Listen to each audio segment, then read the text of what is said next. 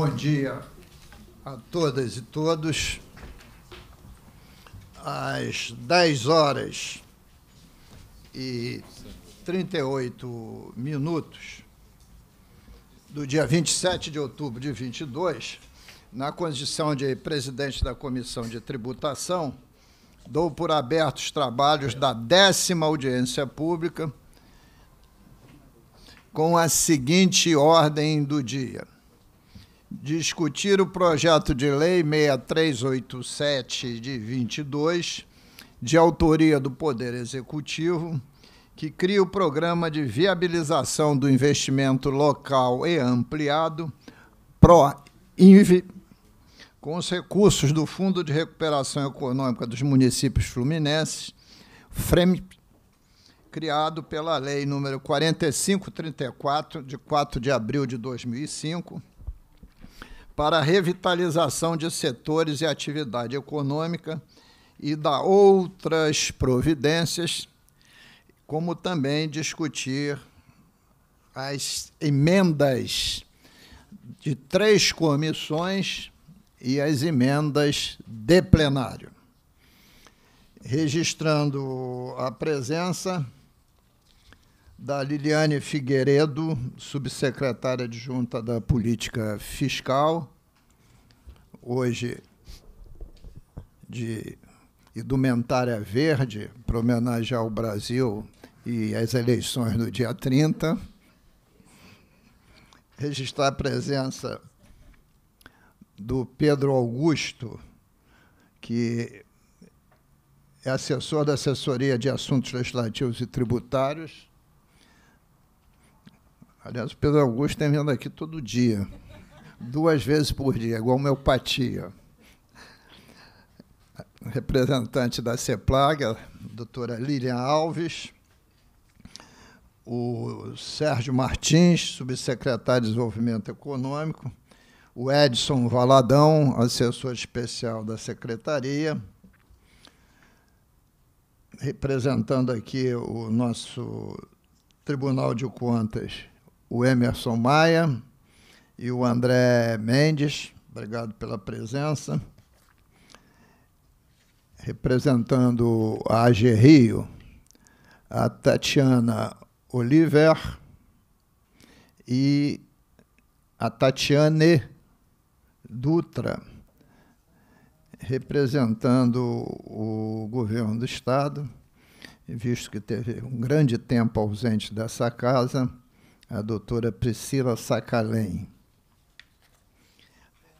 Será que eu não registrei alguma presença? Bom. Então, no dia de hoje, nós vamos discutir o projeto de lei 6387 de 22, que eu não preciso ler o título. Esse projeto, só recapitulando, foi a CCJ, né, doutora Milena não foi registrada a presença. E na CCJ recebeu parecer pela constitucionalidade com sete emendas. A seguida, parecer oral. Parecer oral. Em seguida, foi a Comissão de Economia e também recebeu parecer no mérito favorável com seis, seis emendas.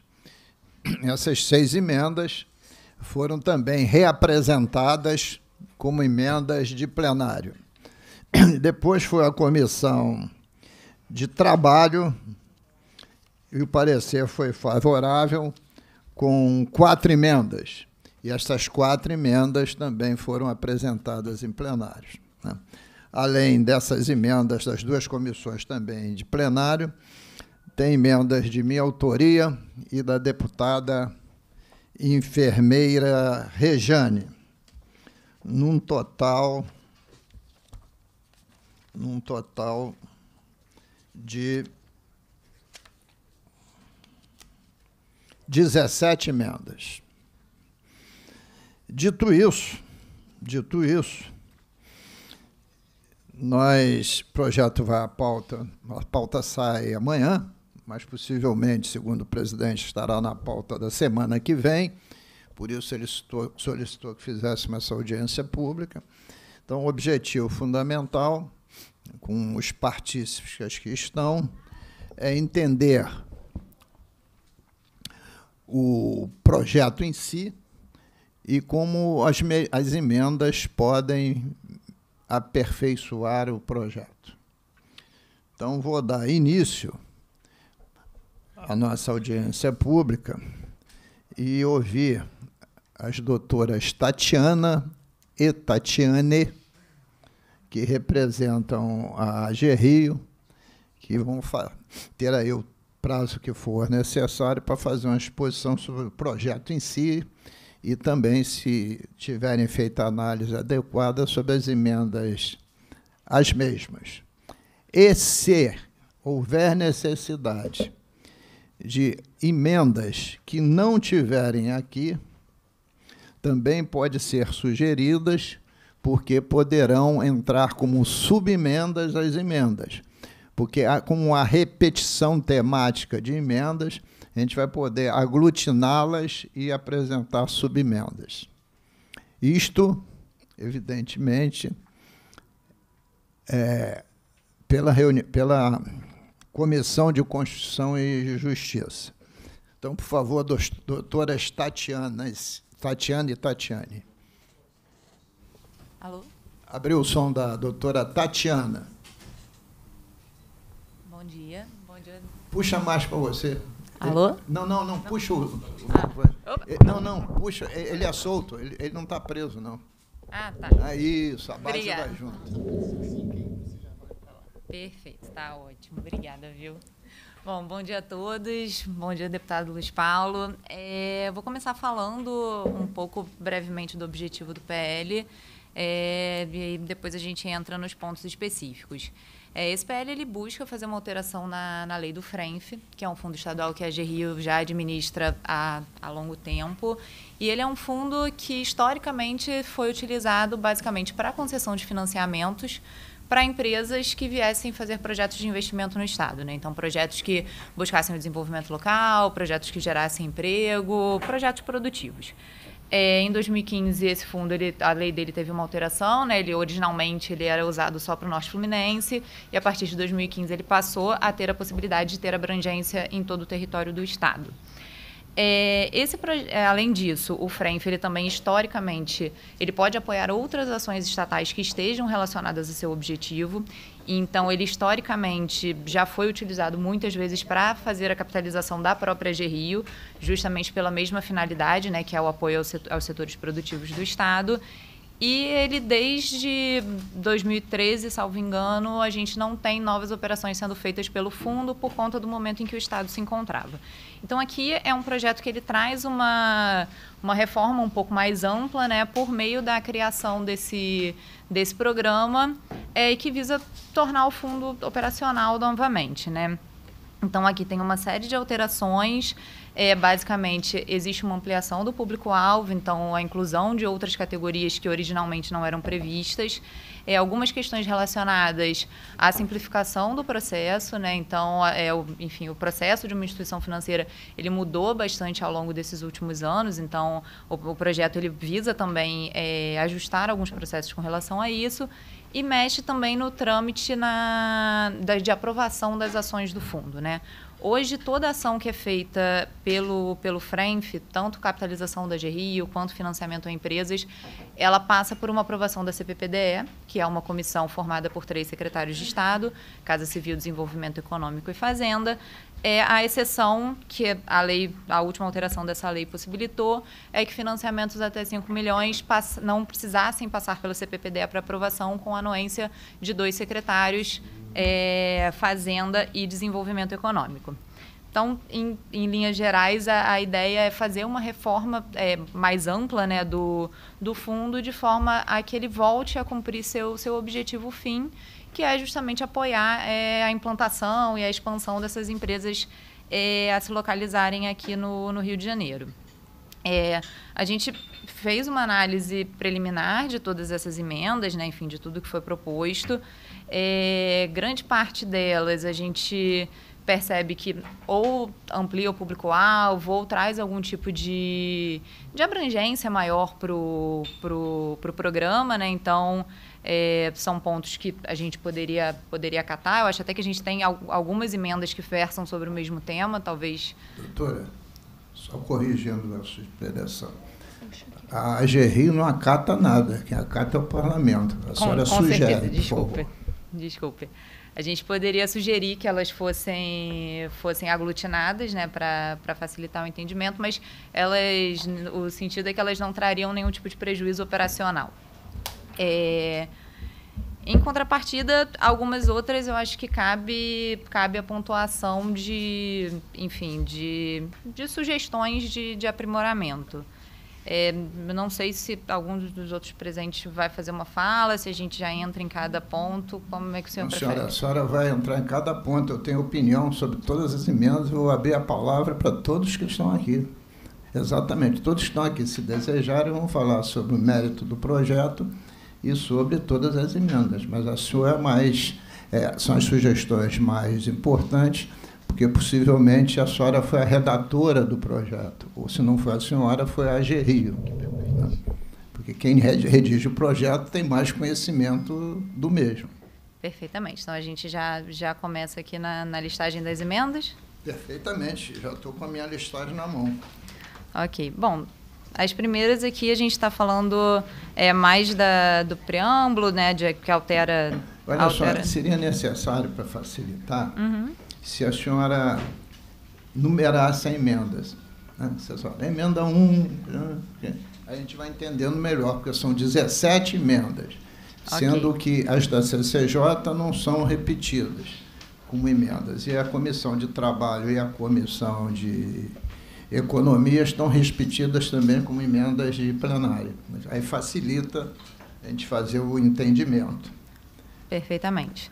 Bom, modificativa 1 da CCJ é um ponto que é uma alteração na redação, não vejo, não vejo nenhum tipo de problema.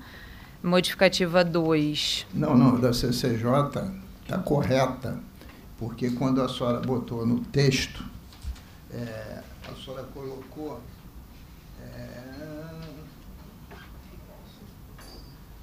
criado pela lei. Não é criado pela lei. O projeto altera a lei. Então, aí não é só uma, não é questão de, de mérito, é questão de redação, porque o projeto, a emenda tem que dizer que lei vai ser alterada. Se, não, se, se o fundo tiver só regulamentado, varia para a criada, mas só está mexendo na lei original, tem que ser alterado o termo correto. Perfeito. Por favor.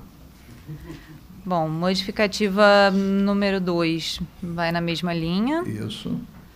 Modificativa número 3, ela traz a redação por extenso dos percentuais que haviam sido propostos. Isso.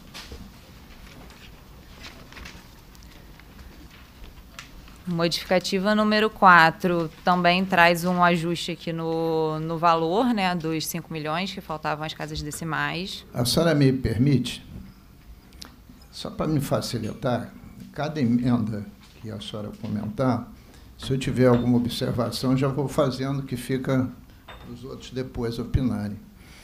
É, na lei do fundo, na lei do fundo, a senhora tinha uma exigência mínima para se credenciar de 30 mil FIR, que dá em hoje torno de, eu ofertar em torno de 4,0 qualquer coisa, é, das, em torno de 120 mil reais. Então, eu te, entendi que a senhora tirou fora essa exigência né, para permitir que microempresas também acessem a linha de financiamento. Mas na, no fundo em si não tinha limite superior e agora passou a ter limite superior de 5 milhões de reais.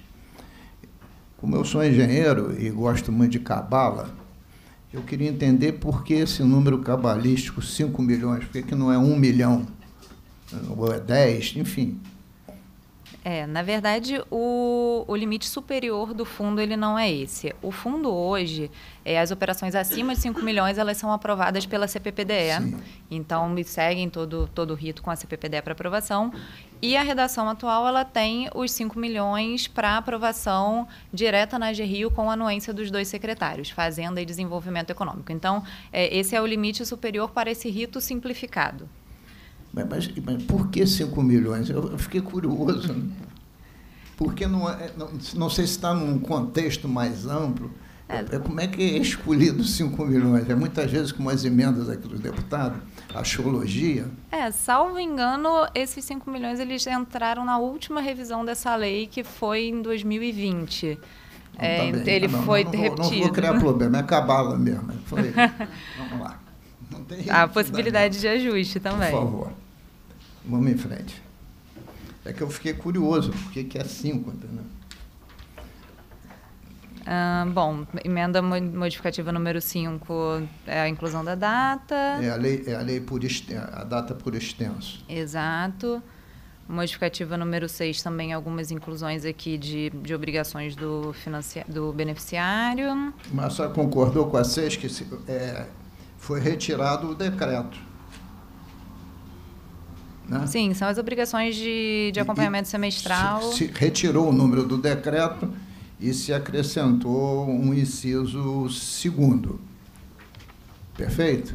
Ok. E aí eu tenho uma divergência grande em relação a essa questão, que deriva da lei original.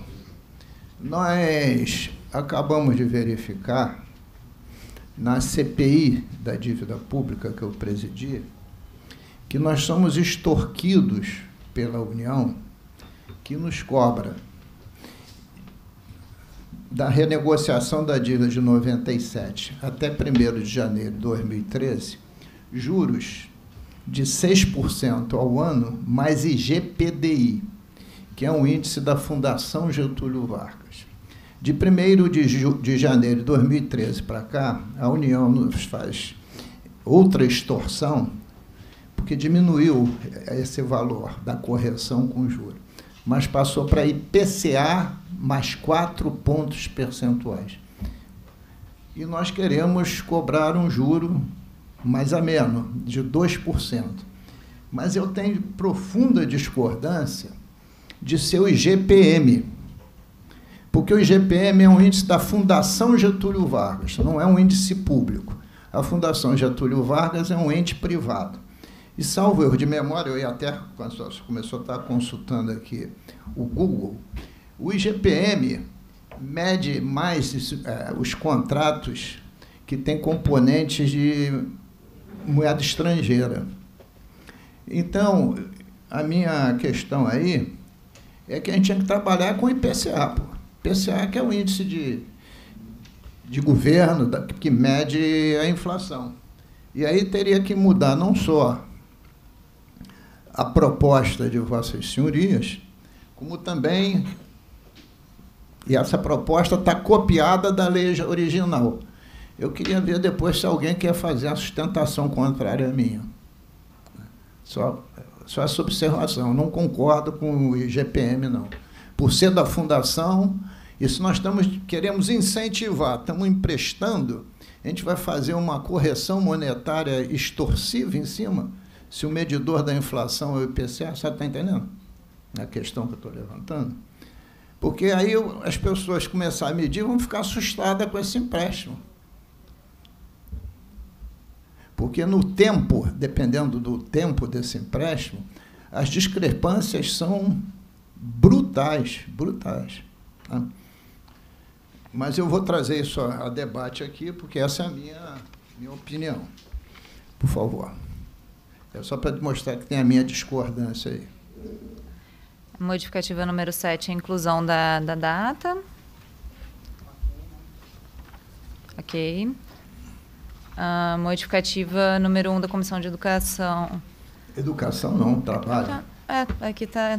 Aqui na... Não, educação não. Perdão. Não opinou, não. Deve ser trabalho ou economia. Não sei Exato. qual que a senhora vai primeiro.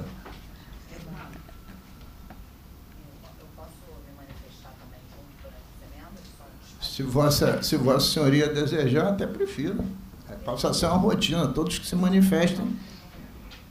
Mas, mas manifestar em ordem de emenda, né? Isso, isso. Só para esclarecer, porque como a gente estava é, observando as emendas juntas, até para complementar o que a Tatiana Oliver estava falando, com relação à emenda 6, a gente só, na, na sugestão de emenda, é para tirar o número do decreto e inserir o texto do decreto. Então, na realidade, a gente não está inovando em nada. Não, eu, eu, concordo, porque o texto do decreto, quando entra em lei, vira lei. Decreto muda a cada Isso. 15 minutos. Né? Sim. Né? Estou concordando, que tô, a minha discordância foi quanto ao IGPM, que está na lei original também. Se a gente consensuar aqui, ou chegar a algum denominador comum, e, e eu for, não for convencido, eu vou lutar para tirar o IGPM. Entendeu? E trocar pelo IPCA. Ok. O, o tribunal quer se manifestar sobre GPM e IPCA? Não? Muito obrigado. Por favor, doutora. É só, é só, só, só para mim continuar aqui, eu entender se a senhora vai para o trabalho ou vai para a economia. Trabalho. Trabalho, tá. Então, modificativa número 1 um, foi a inclusão dos empreendimentos de economia solidária, ok ampliação de público-alvo. Deputado Valdec agradece. Que igualzinho do Valdec é da Mônica. Né? Uh, modificativa número 2, a inclusão de cooperativas com matriz no Rio de Janeiro como correspondentes para o programa. É, aqui a gente tem uma, uma observação.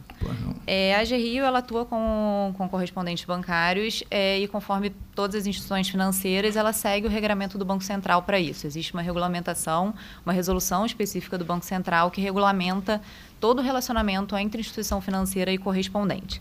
Essa resolução, um dos itens que ela traz, são as, os, os, tipos de pessoa jurídica que podem ser contratados como correspondente bancário. Existe um rol nessa resolução do Banco Central que não contempla é, diretamente, expressamente, as cooperativas.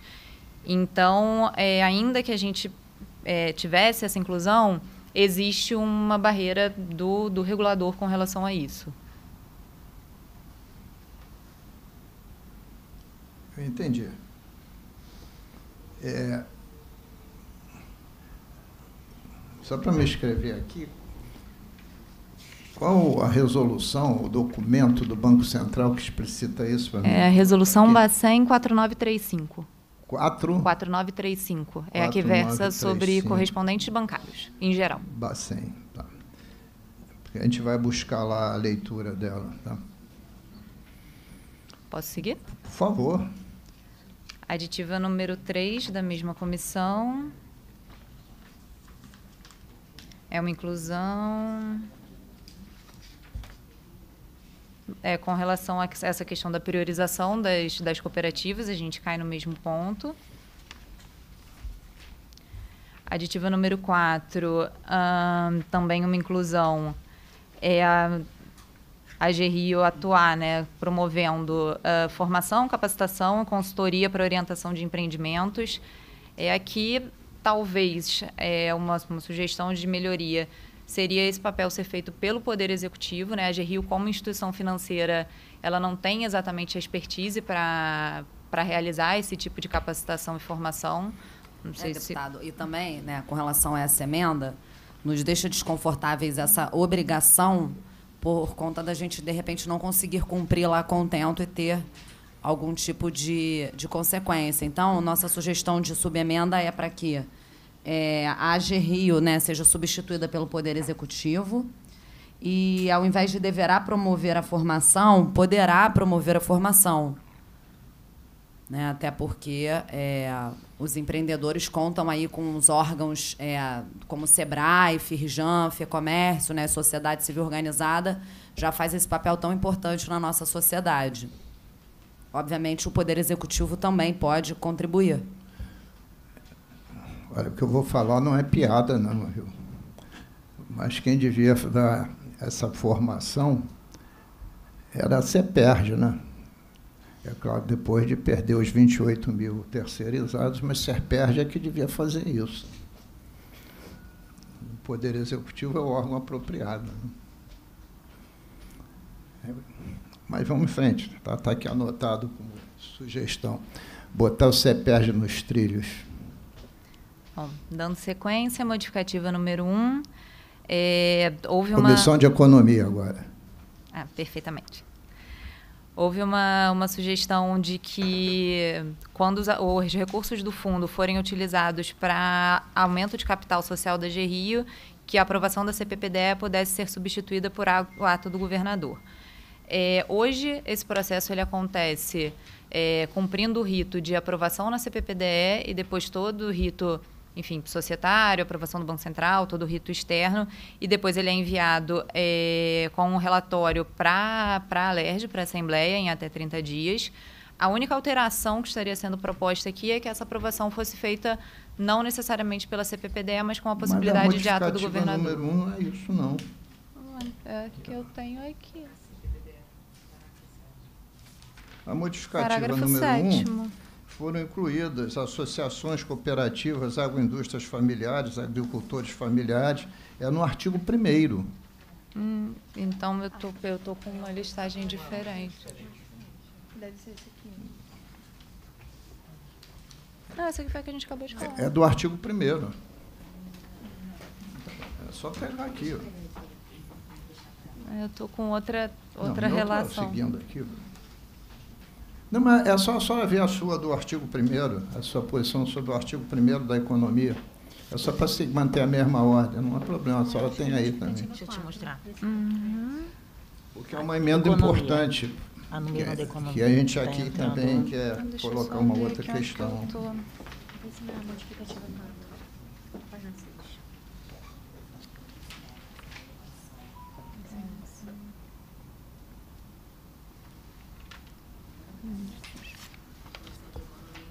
É, ela está aqui.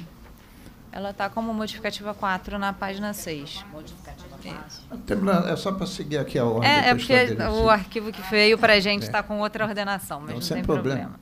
A gente é só virar a página, só para a gente manter. Só para a gente não perder. Tá, perfeitamente.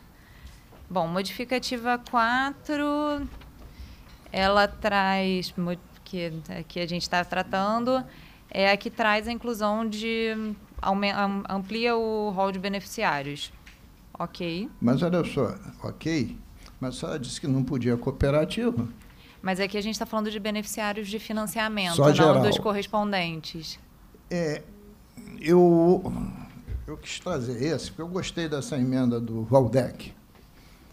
E o Valdec é, tem uma lei específica, por isso que ele está falando que é dele, de território de favela, áreas populares, isso é uma lei, uma lei uhum. existente, porque para ter empreendedorismo de, de periferia. Né?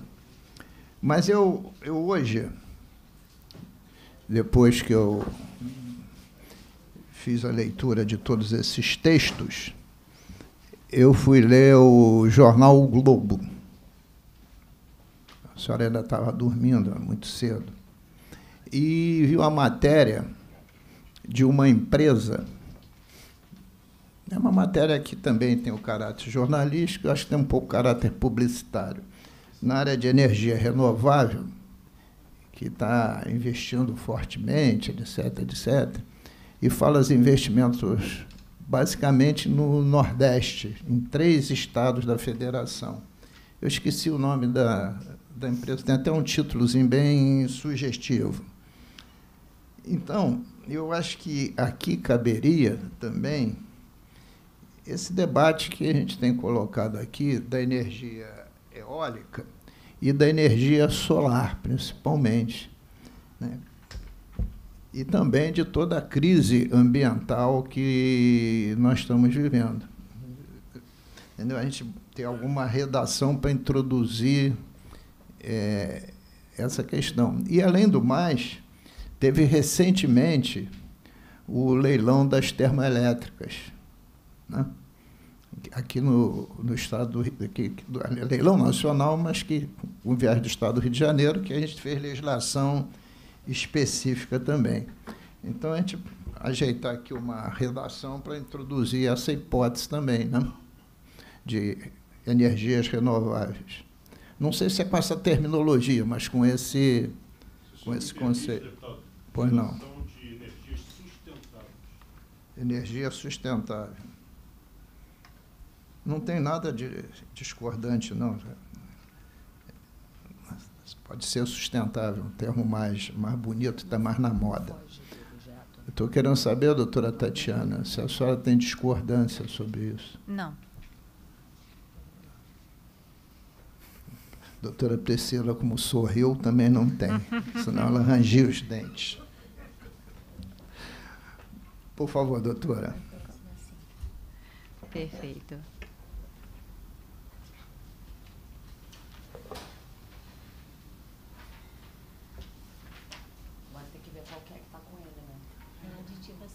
A aditiva 2 é a mesma coisa, né? Porque a aditiva 2 ela está mexendo agora no, no texto da lei. E a aditiva 1, um, se a senhora não tem contradição com a 1, um, talvez não tenha com a 2, não é Sim. isso? Essa aqui.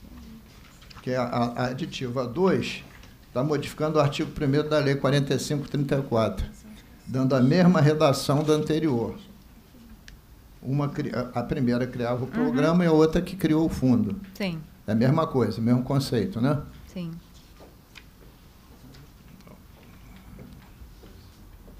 Mesmo conceito. Essa. Essa aqui, né? É só tá quando tá fora de ordem.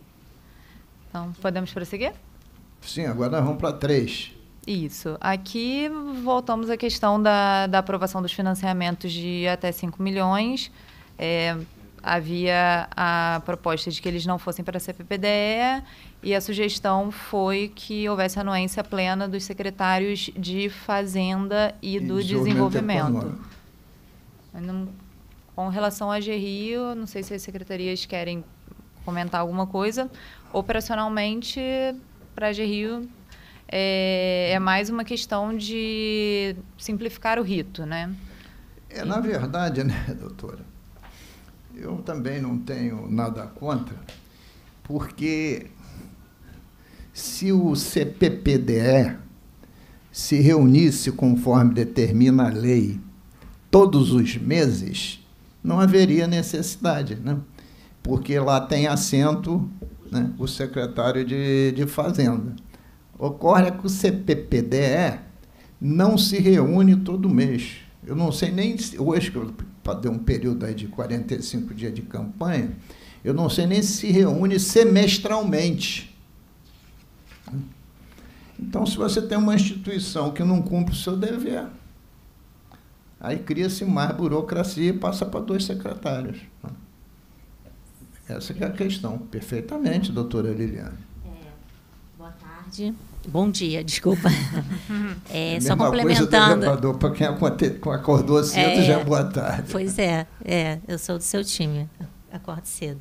Só complementando a fala da Tatiana com relação a essa emenda modificativa 3, é, e concordando com a sua fala, na verdade seria a redação original do PL estava no intuito de simplificar tirando essa obrigação de passar por dois secretários, já que, na verdade, é basicamente é, um a menos do que passar pela CBPDE. E aí tem a questão também de, de serem duas opiniões e um pode acontecer o caso de um concordar e o outro discordar. Talvez isso é, demore a tramitação do, do processo. Então, a redação original veio nesse sentido de de descomplicar esses empréstimos de valor reduzido. O que a senhora está colocando é que a senhora gostaria que tivesse a redação original que veio lá da CCJ, sem incluir as duas secretarias. Eu queria fazer uma pergunta aos nossos representantes do Tribunal de Contas. É, se existe uma comissão que, em lei, tem uma periodicidade de reunião. Sob o ponto de vista das contas é, de gestão, se essa periodicidade não é cumprida, se as atas das reuniões não são publicizadas, porque né, muitas vezes não tem a reunião, e às vezes tem a reunião e não, não, aparece a ata. É, essa comissão tem dois secretários de Estado assentados. Né? O desenvolvimento econômico, que preside, e o de Fazenda. Né? O tribunal entra na análise das contas no mérito dessa questão? Passa o som para ele. Deputado, bom dia, bom dia a todos. É, talvez. Alô, alô. Ah. É, nós não seríamos os melhores especialistas, porque nós não seríamos da coordenadoria específica que analisa contas de gestão. Né? Mas é, acredito que isso deva gerar algum tipo de ressalva né, em relação às contas. Perfeitamente. Obrigado, doutor. Por favor, doutor. Me permite, deputado, é só um a título de esclarecimento. Na realidade, né, a proposta é, original enviada na mensagem do governador, é, ela já prevê a CPPDE como o órgão, fórum adequado para deliberação e aprovação. A gente está falando aqui do limite de 5 milhões, que é um valor menor, né, que operacionalmente também demanda menor complexidade e a título de, é, assim, especificamente dar é, efetividade ao objetivo do fomento para o pequeno e micro. Né? O que a gente pode sugerir aqui a título de subemenda, me ocorre, né, a doutora Lilian aqui a gente conversando, é que a gente poderia, então, sugerir que, é, dentro desse parágrafo terceiro aqui do artigo 1 que caberá a GRIO aprovar e conceder diretamente financiamento de até 5 milhões de reais né, sem a necessidade de submissão à CPPDE talvez é, submissão à de referendo na primeira reunião subsequente realizada pela CPPDE, que né, garantiria assim o colegiado, né, a manifestação do colegiado, não traria o problema que a doutora Liliane levantou é, relacionado ao empate, que poderia trazer insegurança jurídica à operação. Sim. Né? E manteríamos, então, a CPPDE como órgão, fórum é, para o tema. É, eu acho que é um complicador. Também? Deixa eu, é, deixa eu explicar por quê. Imagine que eu seja um, um pequeno empreendedor. Consegui um empréstimo de 200 mil reais. Há de referendo da CPPDE, Mundo Real. Essa CPPDE vai levar seis meses para se reunir e eu vou ficar guardando o A de referendo? Aí eu tomei o dinheiro. Aí a CPPDE não deu o A de referendo. Eu devolvo o dinheiro que eu tomei emprestado, que eu já gastei? Perfeitamente. Então, é por isso, exatamente com base nesse complicador que a gente já tinha também mapeado, mas eu estou tentando aqui fazer uma conciliação. Sim é que, inclusive, com base na experiência da própria RG Rio, no, no, no Super RJ, a RG Rio, ela teve a oportunidade de avaliar. Né, os empréstimos que são feitos pela RG Rio são muito, é, contam com grande compliance. Então, ela, e não passam todos pela CPPDA. Acho que a Tatiana podia explicar melhor o modus operandi da, da aprovação de um financiamento pela GRIO, até para dar segurança para o parlamento, né, dessa redação original do parágrafo 3 continua sendo a nossa, é, a nossa posição enquanto Poder Executivo. Né, a, a, a, é, autorizar a GRIO, dentro das suas funções que ela já exerce, a um valor teto de 5 milhões e para além de 5 milhões, como né, é uma complexidade maior, são projetos né, que demandam aí mais estudo, sim passar pela CPPDE para poder aprovar essa política pública em si. Né, que um financiamento de 5 milhões, ele vai mais para o capital de giro da, da empresa e tem toda uma lista de documentos que a empresa tem que apresentar lá na agência. Não é isso, Tatiana? Deixa eu tentar aqui uma mediação. Por favor. Porque o, o, que, que isso me chama a atenção? A emenda, a intenção, é a intenção do controle, que é absolutamente positiva. Mas a gente sabe o que, que é, né? a gente tem experiência dos dois lados do balcão, o que, que é um processo tramitar em duas secretarias. Isso vai demandar tempo, burocracia, vai passar pelo assessor, depois pelo assessor-chefe, até chegar ao secretário. Né? E não é crítica hoje, não é sempre assim. Né? Então vai demandar mais tempo. E o, a CPPDE, aí vai ser uma atitude minha na tributação, eu vou questionar o Tribunal de Contas. Qual a medida que cabe a um conselho que não se reúne e com atribuições muito, muito importantes, que é o desenvolvimento econômico e social do nosso Estado. E já houve até uma discussão dentro do próprio executivo de uma ata que não retratava a realidade da reunião. Isso não foi agora, não, isso já tem ah, tá. mais, de, mais de uns dois anos atrás. Dez anos. Não, dois, dois. Na atual gestão, na atual gestão. Então, eu acho que talvez, é, em vez de passar acima de 5 milhões, manteria a redação de passar na CCPPDE. E abaixo de 5, já que a Rio é subordinada à Secretaria de Desenvolvimento Econômico, passasse pelo aval da Secretaria de Desenvolvimento Econômico. Menos pior. O que, que você acha, Lilian? Você que é fazendária, já foi fazendária, hoje é planejadora. Hum. Deputado e demais membros. É uma alegria estarmos aqui.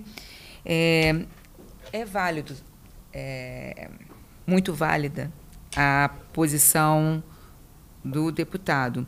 Ocorre que a CPPDE, CPPDE ela tem todo um, um rito e a administração pública um rito pesado, né, um rigor nos controles.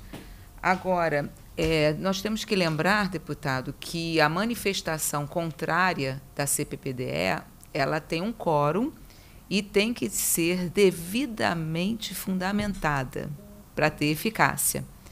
Então, se não está devidamente é, motivada qualquer ato administrativo, mas principalmente uma, no exemplo que o deputado é, trouxe, se um empreendedor é, buscar 200 mil para fazer um, um, um projeto, esse foi rigorosamente pelo compliance avaliado né, com a devida documentação acostada. Então, tem que ter um caso muito gritante e devidamente fundamentado, não pode ser na discricionalidade do de quem quer que seja é, que, votante.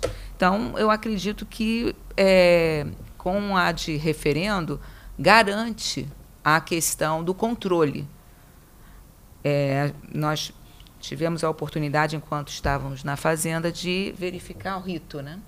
É, de fato, existem, como todo e qualquer ato administrativo, o bom disso, né? inclusive na nossa vida privada, a questão do aperfeiçoamento dos atos. Né? É, isso não resta dúvida, o deputado está corretíssimo. Precisa.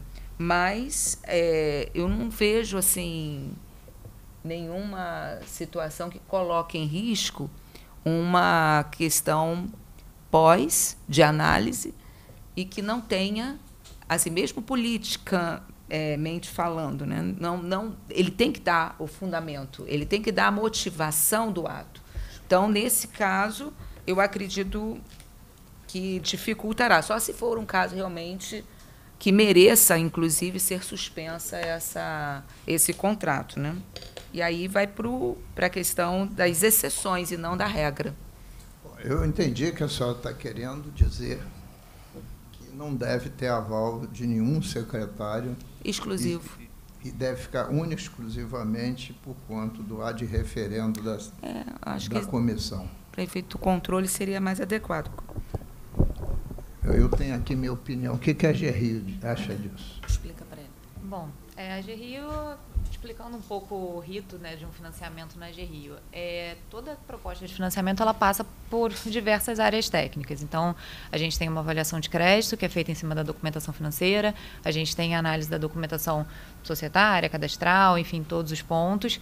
E toda decisão de crédito ela é tomada é, de forma colegiada de acordo com os nossos regimes de alçadas, que são previstos, inclusive, no estatuto da agência. Então, a gente tem um comitê de crédito, que tem um determinado volume de alçada, operações acima daquele valor vão à diretoria executiva, e, eventualmente, até operações de vulto maior poderiam ir ao Conselho, mas aí já ultrapassaria em muito esses 5 milhões.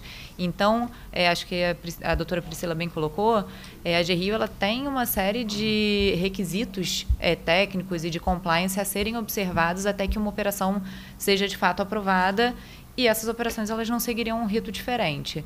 A grande questão é que as de valor superior seriam submetidas naturalmente à CPPDE ou aos aos secretários de acordo com o que ficar definido.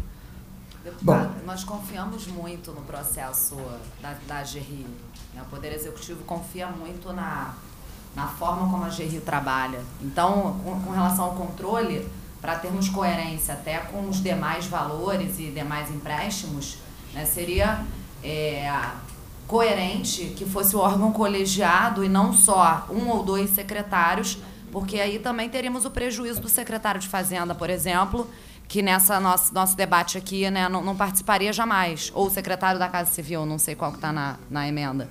E Bom, são os, as três secretarias que compõem a CPPDE. Olha só.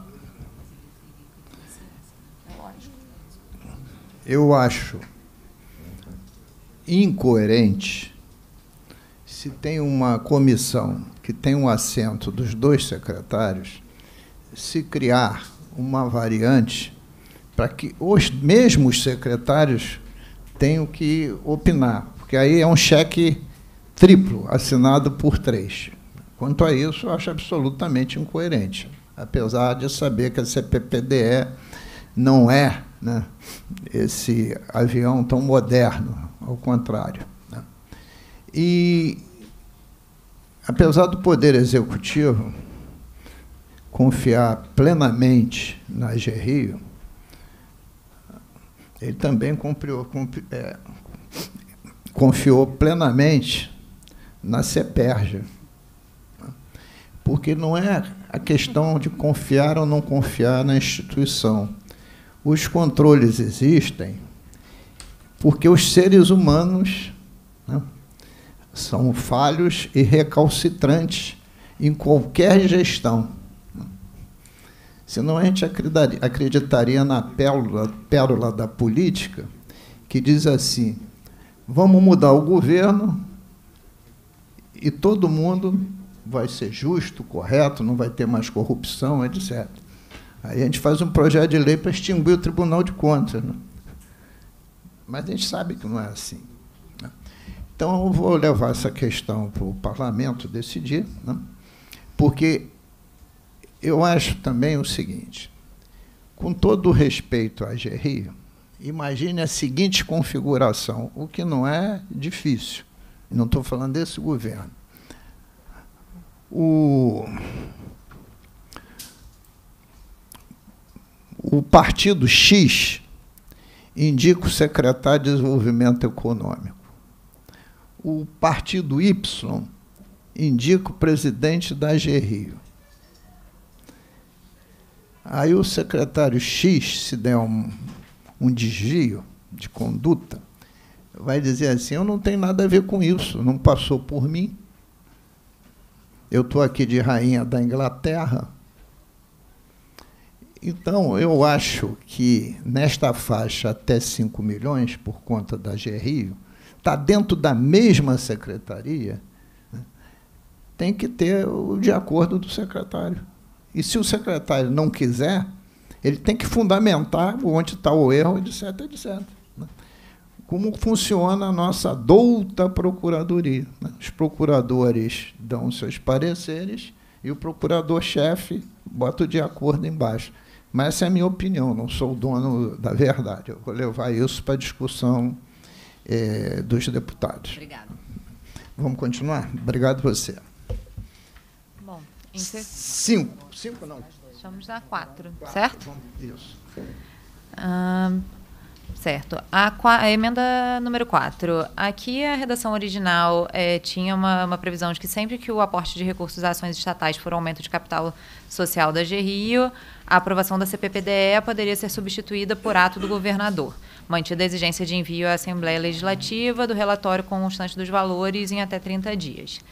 É, aqui, na verdade, a redação sugerida, né, a emenda, ela sugere um retorno ao que já é prática hoje, né? Então, hoje, como eu coloquei na minha fala original, o FRENF ele pode ser utilizado tanto para financiamento quanto para ações é, de apoio ao desenvolvimento estatal, dentre elas a, o aporte de capital na agência. A mudança que estava sendo sugerida e defendida aqui era que esse rito não necessariamente tivesse que ser aprovado pela CPPDE, que essa aprovação da CPPDE pudesse ser substituída por ato do governador, mas todos os outros processos mantidos. Então, toda a questão é, societária, aprovação do Banco Central, inclusive a remessa à Assembleia é, de relatório após os 30 dias, tudo seria mantido da mesma forma, substituindo, né, com a possibilidade de substituição da deliberação da CPPDE por um ato do governador. Bom, então a senhora está dizendo que a senhora não tem discordância em relação é, à emenda. Não, acho, acho que eu não, não me fiz entender. O, é. o parágrafo, o parágrafo Desculpe, a senhora está me dizendo que a senhora tem objeção à emenda. Isso, é isso? Eu, a defesa é pelo texto originalmente o texto proposto. original. Perfeitamente. Em relação. Nós estamos falando da emenda modificativa número 4 da Comissão de Economia. Não é isso, doutora Milena? A gente está com um é, Para vocês é a página 5. Página 5. Modificativa 1, ah, obrigada. Mas pelo menos fico feliz que pelo menos todo mundo fez o dever de casa. A gente só está com uma dificuldade no é deparo aqui, mas a gente se encontra. Isso é o de menos. É pior quando chega aqui com cara de paisagem. Bom, eu tenho aqui uma, uma observação. É, eu acho que o conceito está correto. Né? Porque se você vai capitalizar a GRIO, né, evidentemente, um, tem que ter dispositivo legal para tal, dois, a GRIO tem que querer, e três, o governador tem que querer.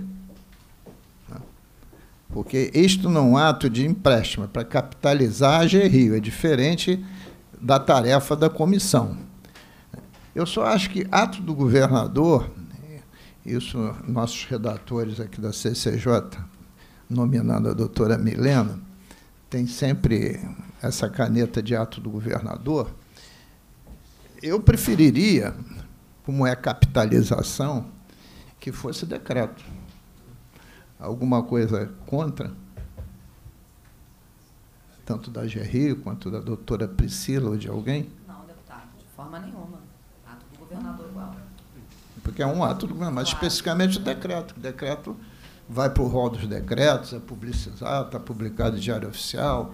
Porque é um ato do governador, ele pode botar assim, de acordo. Aí sai um Diário Oficial, o número do processo e de acordo. Perfeito. Se você entrar no processo, você não sabe nem o que, que é. Perfeito? Ok. Então vamos para o 5.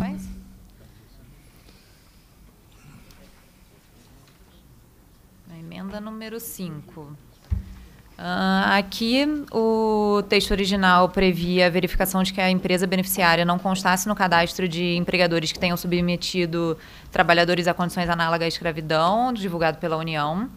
É, e a emenda ela propõe algumas alterações, é, incluindo a verificação é, dos sócios que participem dessas empresas uhum. e além do trabalho escravo, a questão de trabalho infantil, insalubre, é, menores de 16 anos, enfim, ela amplia um pouco é, essa questão. Com relação à, à questão dos sócios, nos sócios pessoa física das empresas, essa verificação ela pode ser feita. Agora, eu tenho um comentário aqui com relação à ampliação desse escopo pelo seguinte: é, hoje a gente não tem uma, uma, um documento oficial, uma certidão ou algo do tipo que traga essa informação. Com relação ao trabalho escravo, a gente consulta a base que é disponibilizada pelo, pela União, é uma base pública, e essas empresas elas já não acessam, não acessam financiamento na GRI, a gente consegue ter esses CNPJs bloqueados sem problema nenhum. Com relação a esses outros aspectos, a gente não tem um documento oficial para fazer essa validação. Então, ela acaba trazendo uma, uma série de questões e de obrigações que formalmente existe uma dificuldade de, de verificar em termos operacionais é, práticos. Então, o comentário é com relação a isso. A inclusão dos sócios realmente é algo que é, que é possível de verificação com relação ao trabalho escravo. Eu entendi. Eu, eu, eu acho que essa emenda ela é extremamente positiva, a redação do deputado Valdec. O, o problema é ter exatamente a fonte de consulta que tenha lá relacionado né, essas questões em relação ao trabalho infantil, trabalho noturno perigoso, etc, etc.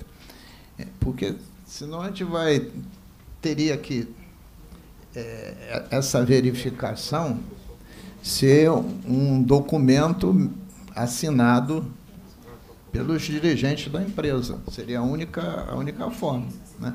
Um documento, declaro que não tenho, uma declaração, porque você não tem fonte de verificação. E aí, se for por declaração, tem que dizer aqui que é por declaração. Exatamente. Então a gente leva, viu, melhor, a gente leva essa questão à discussão. O, mantenha os sócios, etc., trabalho escravo e retira o restante, ou o restante será por autodeclaração da própria empresa, do microempreendedor, enfim, do, do, daquele que estiver sendo tomador do empréstimo, porque não tem formas de. E aí, eventualmente, se o Ministério ou a instituição estatal for fiscalizar, constata se é verdadeira a declaração ou não. Deputado. Pois não? As empresas declaradas inidôneas e impedidas de licitar com o poder público, elas não deveriam constar também impedimento de, eu, eu de acesso a crédito? Eu, eu, eu, olha só, eu particularmente acho que qualquer um que foi declarado inidôneo não pode tomar empréstimo em lugar nenhum. Mas acho que também o que abunda não prejudica. Porque se o cara é inidôneo, como é que vai tomar empréstimo no Estado? Né? Pois não, Tatiane? Só esclarecer é, esse ponto. Hoje, a GRIO, nos financiamentos dela, tudo, o nosso banco de dados ele já puxa essas desse banco de dados público, né, de escravo e outros bancos de dados que a gente usa dos impedidos. A gente já alimenta o nosso sistema. Então, hoje, a empresa que chega e a gente, ao colocar o CNPJ lá, desse solicitante, ele já bloqueia se tiver algum impedimento desse tipo.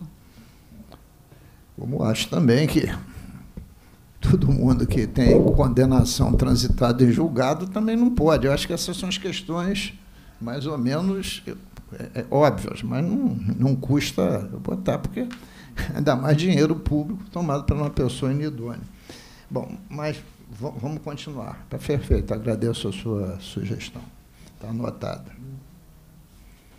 Agora vamos para seis. Perfeitamente. A 6 é. Está mudando 11B.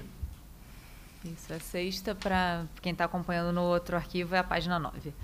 É, aqui está alterando o 11B, que fala dos, dos recursos que não forem utilizados em cada exercício. Eles serão transferidos é, para o exercício seguinte é, podendo ser utilizados para. Aqui a alteração é para capitalização do próprio fundo, e a redação é, original trazia a questão da capitalização da GRIO, e aqui já falando na redação original, mediante decreto. Pois é, mas aí a, a discussão que cabe é, é, é real. Se você tem um fundo, a gente imagina que esse fundo precisa ter recursos para fazer os empréstimos. A senhora mesmo colocou que depois do final, do início da crise do segundo semestre de 14, que se assentou em 15 por aí adiante, que levou o Estado a ficar inadimplente com a União, etc., etc., a GRIO parou de, de fazer empréstimos porque não tinha mais fundo. Então, se a intenção é robustecer o fundo, por que, que tem que aumentar o capital da GRIO e não o recurso ficar no fundo? Essa é a questão que o deputado levantou. Se sobrou dinheiro, por que, que não volta para o fundo e tem que ir para aumentar o capital da GRIO? Faz favor. É só um pequeno comentário com relação a isso. A GRIO ela não parou de fazer financiamentos com o início. Que disse. Ela parou de fazer financiamentos com recursos do FRENF, não Sim, dos financiamentos com recursos sim, da própria GRIO. Sim, parou com recursos do FRENF é porque ele ficou com o fundo vazio. E se o, o dinheiro que sobrar for para a GRIO, o FRENF vai ficar morto de novo. É, o FRENF ele recebe recursos tanto da sua carteira própria de financiamentos, então os financiamentos que são concedidos eles retornam ao fundo, e ele recebe é, parte dos recursos relacionados à amortização do Fundes. Então ele tem um orçamento próprio, ele tem receitas que, que são recebidas ali de forma regular.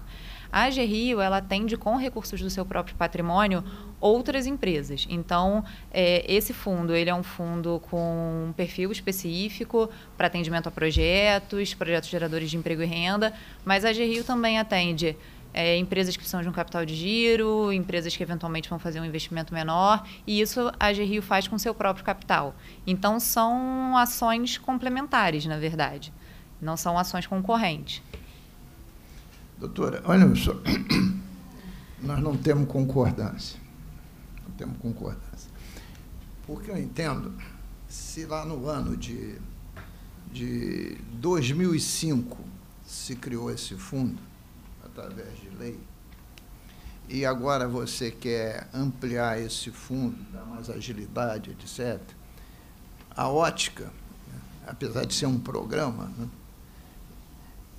a ótica é que esse fundo passe a ser eficiente, tenha sempre recursos, etc, etc. Ora, se sobra dinheiro do fundo, esse tem que passar ficar no mesmo fundo para o ano seguinte. Por que, que tem que capitalizar a? Eu, eu não consigo entender essa lógica. Eu acho que tem que capitalizar o fundo. O dinheiro era do fundo. Né? Você não gastou ele totalmente ele capitaliza a GRIO, aí eu posso pensar assim, então vamos pisar no freio, não gasta o dinheiro do fundo e fica capitalizando a GRIO. Não, não, faz, não faz sentido com a lógica do fundo, você está entendendo? Este é o meu ponto de vista. Se eu quero o fundo, eu quero que esse fundo tenha dinheiro. Tenha dinheiro para quê? Para financiar o desenvolvimento econômico e social. Né? Se eu não gasto dinheiro, eu fui ineficiente. Ou as empresas não precisam de empréstimo. Ou a condição desses empréstimos não são boas. Né? Aí o dinheiro vai para a GRIO. Eu não, para mim não tem lógica. Eu queria, apesar de eu ser um político, eu sou cartesiano. Né? Então não, não consigo ver a lógica disso. Mas a senhora tem seu ponto de vista evidentemente, a gente vai levar isso também a debate, se alguém quiser se manifestar sobre isso. Deputado, é só uma pergunta até para compreender melhor. A matéria chegou para a gente ontem, no final do dia, e nossa, nossa atribuição é bem eclética no tribunal. É saber, é saber da GE se, se há um instrumento de mapeamento no Estado de quais são as áreas carentes de, de fomento e desenvolvimento econômico. Né? E complementando a fala do senhor, é, é assim, no exercício subsequente, essa necessidade ela deixou de existir, ela some, sim. A senhora, por favor, depois eu respondo a ele, mas a senhora, a pergunta foi para a Gerri, não foi assim, é, desculpa até a minha não pode não. meu pouco conhecimento, mas assim, se o fundo ele é criado e há uma necessidade pública a ser satisfeita, né? E se o Estado tem, deve ter, creio eu, instrumentos que, que vão mapear e quais são é, realmente assim, é até saber se se nessa concessão de crédito há prioridade no, no em relação aos municípios, né, para a própria vocação da região, né, se há prioridade na concessão de crédito para, por exemplo, região é, serrana, a área fabril, se ela tem prioridade nessa concessão de crédito, né. Enfim, é saber se realmente assim, há esse mapeamento de onde deve se promover essa política pública de desenvolvimento, né? E aí, complementando, realmente, assim, no exercício subsequente, deixou de existir. Como é que fica esse instrumento né? diante da sobra de recursos? Bom, é, esclarecendo, com relação ao mapeamento dos segmentos é, vocacionais do Estado, acredito que a própria CEDERI possa fazer um esclarecimento sobre esse mapeamento. Né? A Secretaria ela faz essa, essa incursão pelas regiões e se aproxima dos, é, do, dos setores, até para entender as necessidades. E com relação à necessidade de recursos, é, mais uma vez, a AG Rio ela atua também com financiamento a empresas visando o desenvolvimento econômico. Então, esse dinheiro ele ser utilizado para a capitalização da GRIO, essa utilização ela é para fazer empréstimos, só que empréstimos que não serão feitos por meio do fundo, serão feitos por meio do capital da agência. Então, aqui a gente está falando de empresas de pequeno porte, de capital de giro, outras necessidades que não necessariamente são aderentes a este programa, mas são recursos que serão destinados a empresas fluminenses também. É, com relação ao mapeamento dos municípios e segmentos, não sei se Sérgio ou Edson querem fazer algum comentário. A Secretaria de Desenvolvimento Econômico ela procura mapear as regiões do Estado, vendo as carências das regiões, pra, de modo que a gente possa alavancar. E a gente procura mandar relatórios tanto para a GRI quanto a CODIM desse mapeamento que é feito pela Secretaria de Desenvolvimento. Doutor Emerson, a sua pergunta é absolutamente pertinente, porque tudo funciona à base da axologia. Não tem mapeamento sério de nada. O Estado não tem planejamento estratégico de desenvolvimento econômico social. O PPA é um saco de gatos. O senhor sabe disso. Por isso que nós temos aqui, vai acabar até o final do ano, a contratação da matriz insumo-produto e o banco de dados do IBGE com acesso das notas fiscais eletrônicas, exatamente para as instituições poderem fazer essas simulações. E tramita na casa uma emenda constitucional, que eu sou um dos autores, já foi aprovada em primeira, será aprovada em segunda, para que a partir do ano que vem, com a matriz pronta, o Estado tenha um ano em 2023 para construir o Plano Estratégico de Desenvolvimento Econômico e Social. Para que em 2024 esse Plano Estratégico de Desenvolvimento Econômico e Social subsidie o PPA, né? para que se tenha um Plano Estratégico de Desenvolvimento Econômico e Social de Estado e não somente de governo. Então, Infelizmente, essa é a realidade. É tudo aqui é uma achologia. O secretário X acha isso, o outro acha Y. A gente já viu o governador tomar posse e dizer que ia resolver o plano de desenvolvimento econômico e social do Estado com o turismo. Já foi embora e não resolveu. Né? Pois não, doutora Lília? Deputado e demais membros, é com alegria que o secretário Nelson Rocha, ao estar na Secretaria de Planejamento, verificou essa necessidade e, juntamente com o subsecretário Bruno Sobral, professor Bruno Sobral, está é, em fase final de apresentar ao governo e a esta casa o planejamento estratégico. Então, é, e tem outras ferramentas que estão sendo construídas pela equipe do planejamento, juntamente também com a matriz insumo-produto, que será um grande banco de dados de todos os as, as áreas de é, interesse potenciais aqui do nosso estado. Então é um, é um movimento que nós estamos vendo e que certamente vai contribuir e essa é a visão do nosso secretário Nelson Rocha, juntamente com o governador, é, para o nosso Estado. Então, é com alegria que nós estamos vendo essa necessidade apontada e que nós é, vamos é, conseguir entregar para todos os órgãos de controle e para a população e vários outros partícipes, como empresários, AGRIO, CEDERE, é, vão ser certamente usuários desta ferramenta e deste planejamento estratégico que, o, que está sendo elaborado e vai ser submetido ao governador e a essa casa. Bom, quanto à intervenção da doutora Líria, é uma verdade parcial. O, a Secretaria de Planejamento está desenvolvendo uma metodologia né, que ela não vai conseguir fazer planejamento estratégico agora, porque a matriz de um produto não está pronta, mas criou, o governador criou a subsecretaria de planejamento estratégico. Em relação à emenda constitucional, a Secretaria de Planejamento mandou seis su sugestões de emenda, que acatamos todas, né, porque queremos, não aqui na Assembleia, ficar fazendo oposição etérea. Né? A gente quer fazer que o Estado se desenvolva. Então, se o governo fala a mesma língua que a gente está falando, ótimo. E para o tribunal, ótimo.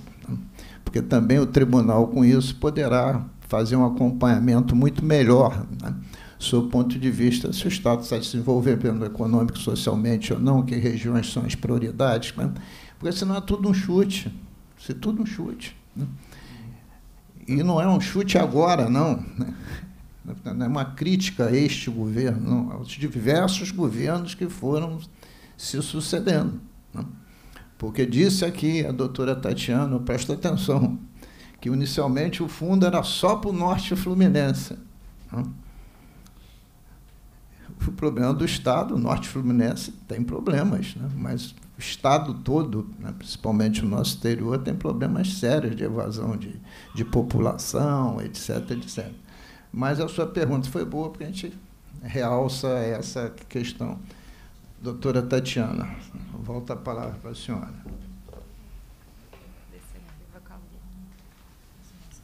Porque não teve. Não, não, não volto para a senhora porque não teve equação, não teve acordo. Né? Isso aqui é uma audiência pública. A gente tenta construir o acordo, porque quando há acordo, a redatora do texto não tem o que discutir, vai como sugestão para a sua CCJ. Quando não tem acordo, quando não tem acordo, a gente possivelmente vai ter que travar essa discussão em plenário, porque o autor da emenda ou vai destacar, ou não vai concordar, ou, enfim. Então tem que ter a fundamentação para um lado ou para o outro. Mas vamos continuar que, sem acordo, já que anotei.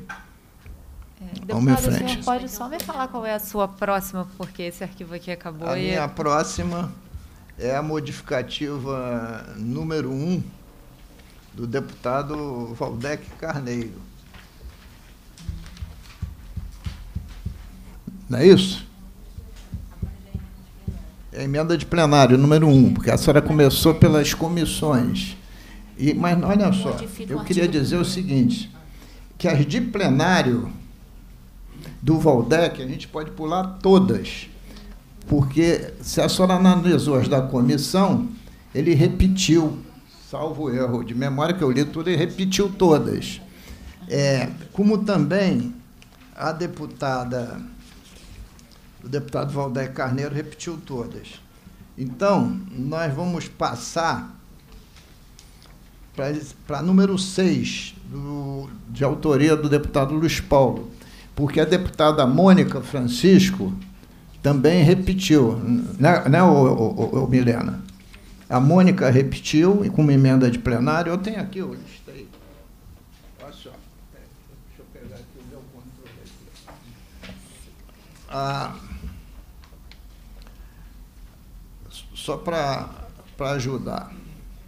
A emenda modificativa número 1 do Valdec é a 4 da Comissão de Economia. A 2 é a 5 da Comissão de Economia. A 3 é a 3 da Comissão de Economia.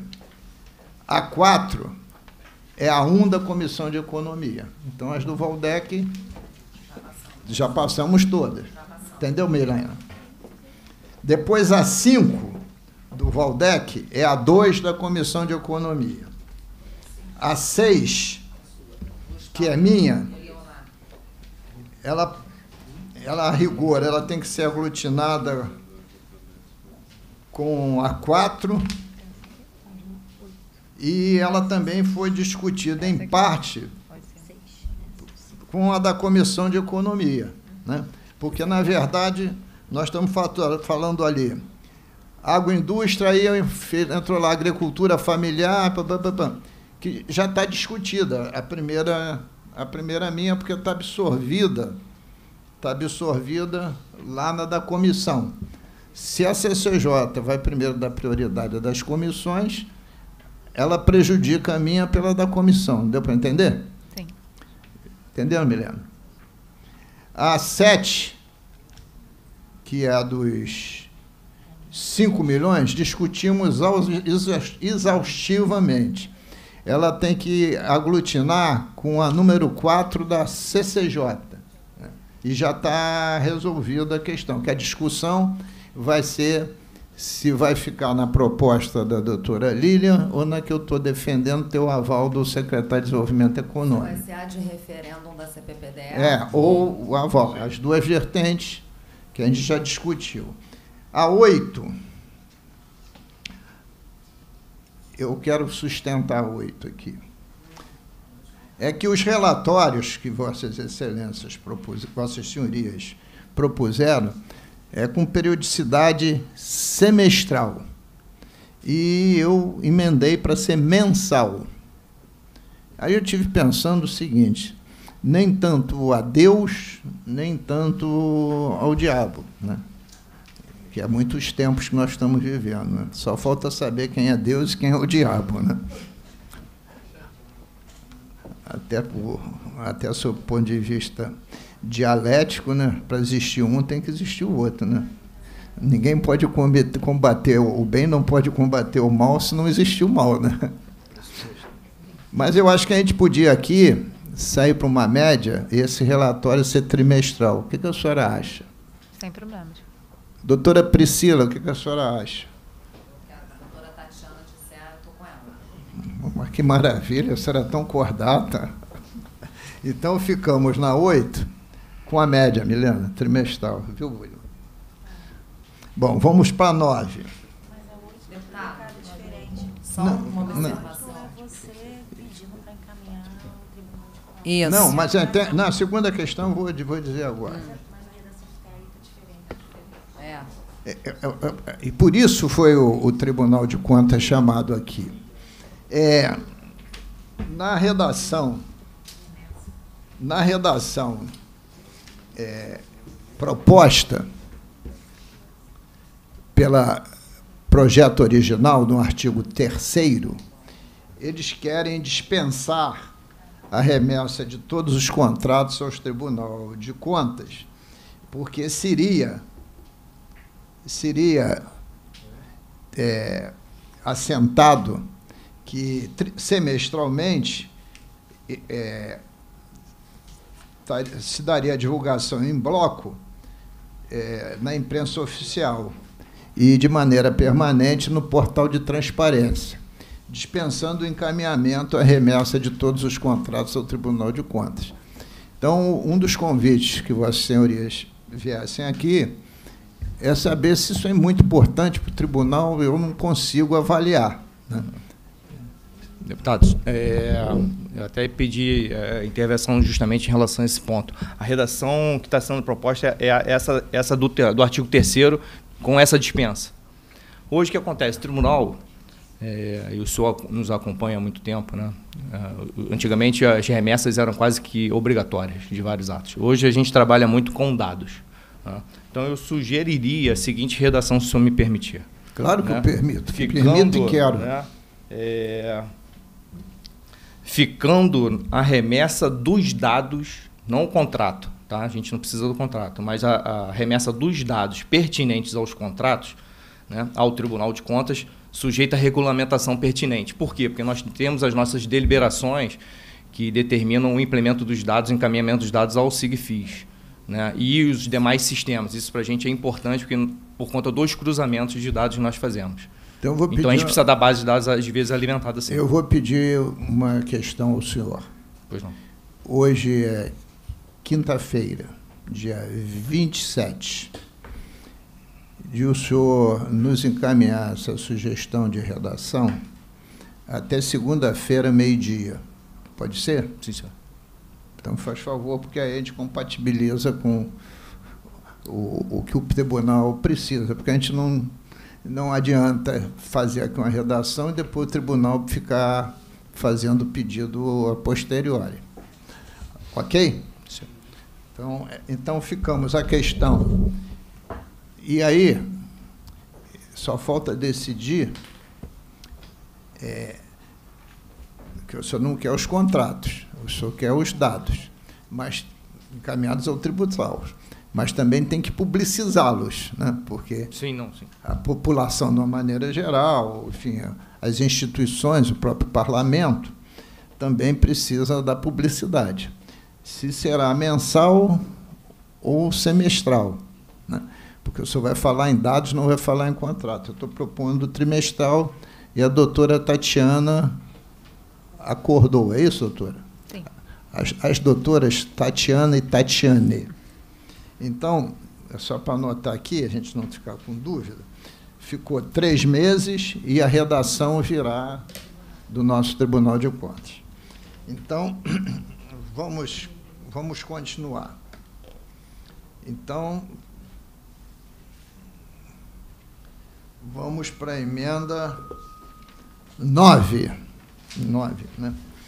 Os correspondentes do escritório de cobrança totalmente credenciado pela G Rio. Vamos ver, vamos ver aqui onde é que está isso na. Está aqui. Está aqui a, a 9 mesmo, né? A 9 está apenas depois, depois da palavra. É, vamos ver se está certo. Tá?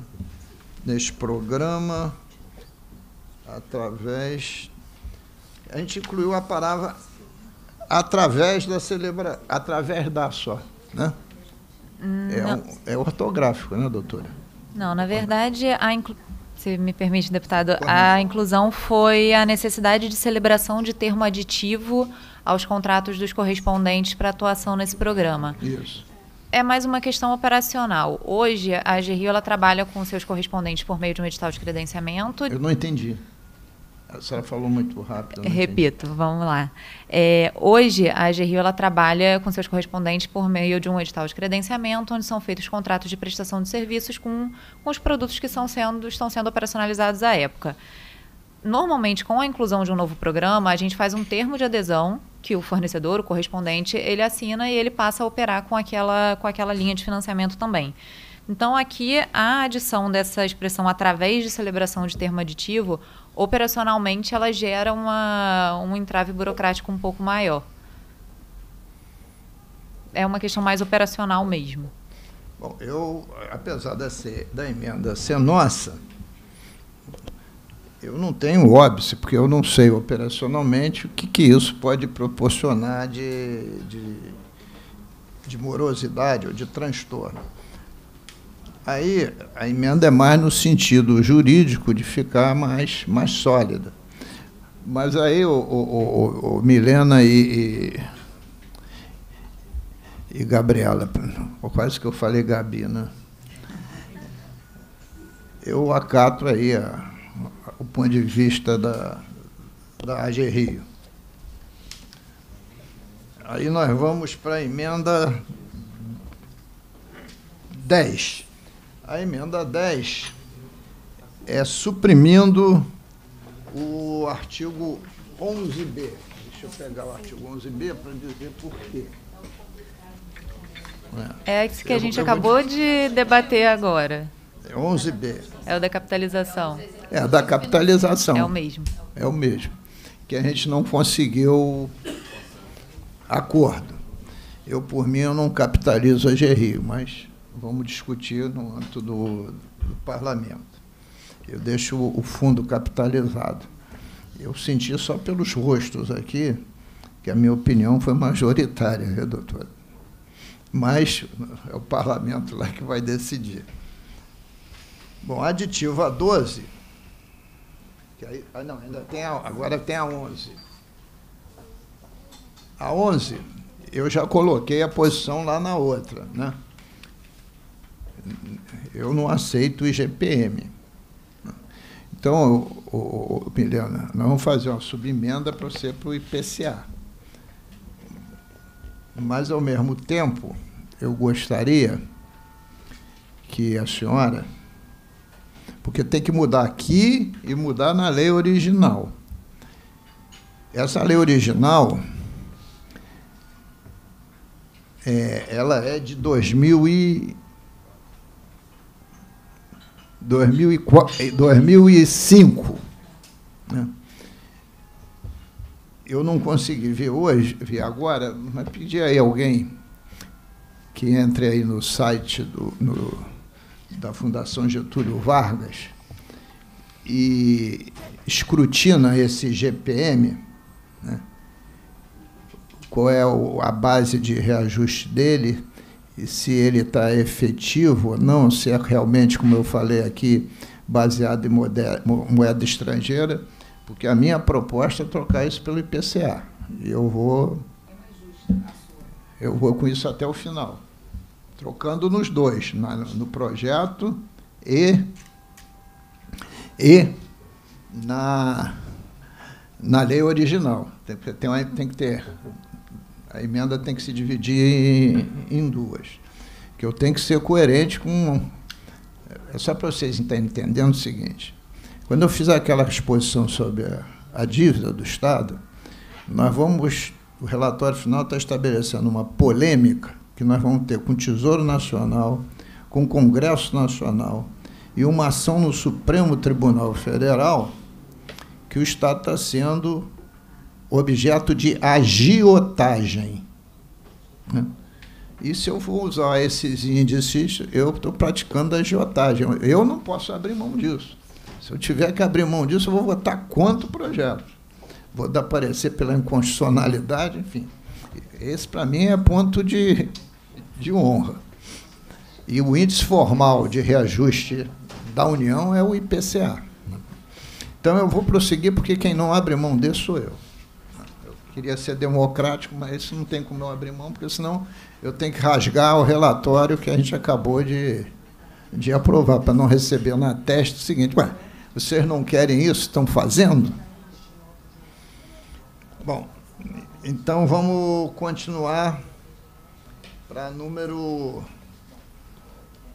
12.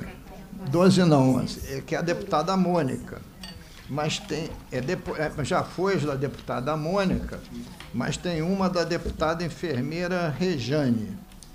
Da Mônica já foram todas analisadas, mas tem uma da enfermeira Rejane e do, outra do Eliomar Coelho. A da enfermeira Rejane é a 16. 16. É uma emenda aditiva.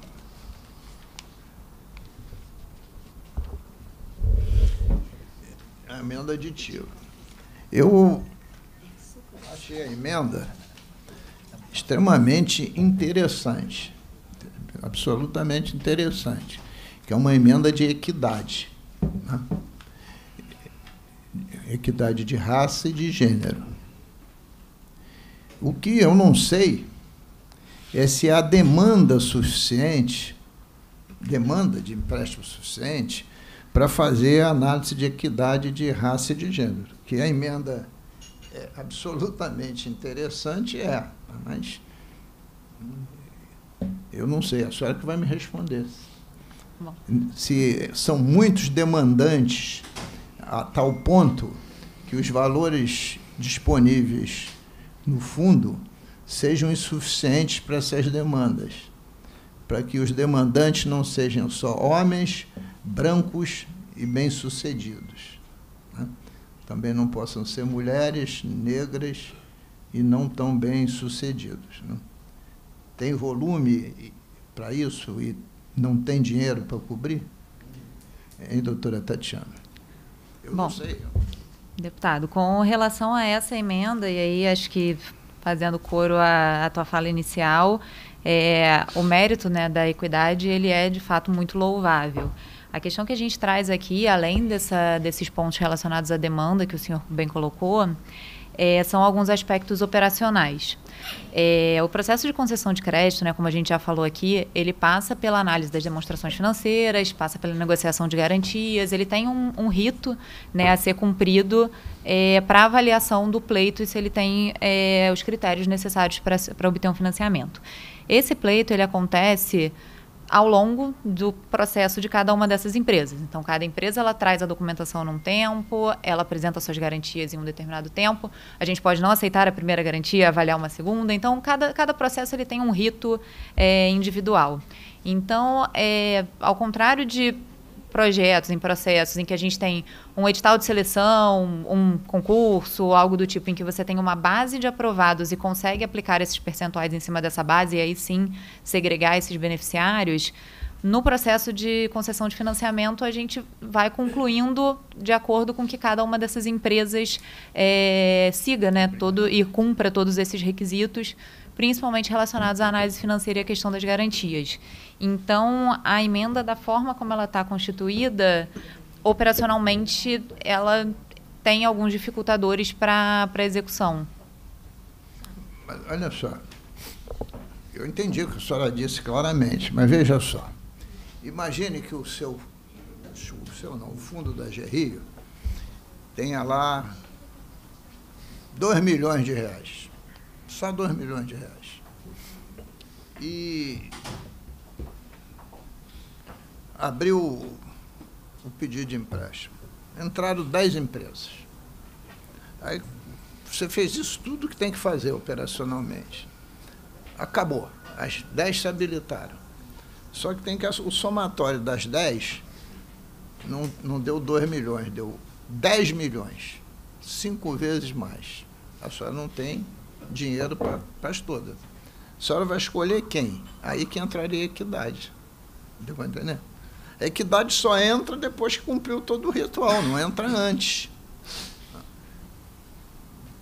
Porque, volto a dizer, como é que a senhora escolhe se a senhora tem só 2 milhões e tem oito empresas que no total dão 10 milhões? Como é que a senhora seleciona? Pois não? É, a questão é que não, não é uma escolha. Esses processos, eles seguem o seu rito, eles são avaliados, inclusive, levando em consideração os aspectos de relação é, de geração de emprego, as externalidades do projeto, e uma vez aprovados, eles vão sendo concedidos. Então, naturalmente, se o orçamento for esgotado, algumas empresas podem deixar de ser atendidas. É, a gente, não sei, aí talvez a doutora Priscila possa comentar um pouco melhor, a gente pode ter uma iniciativa do Poder Executivo no incentivo à, à inserção dessas empresas no, no programa, é, estimular a inscrição, a busca por esse financiamento. É, eu acho só que a, a Constituição, como ela está, a execução ela fica um pouco prejudicada. Não, querida, tá? mas olha só, eu já vou passar. Tá.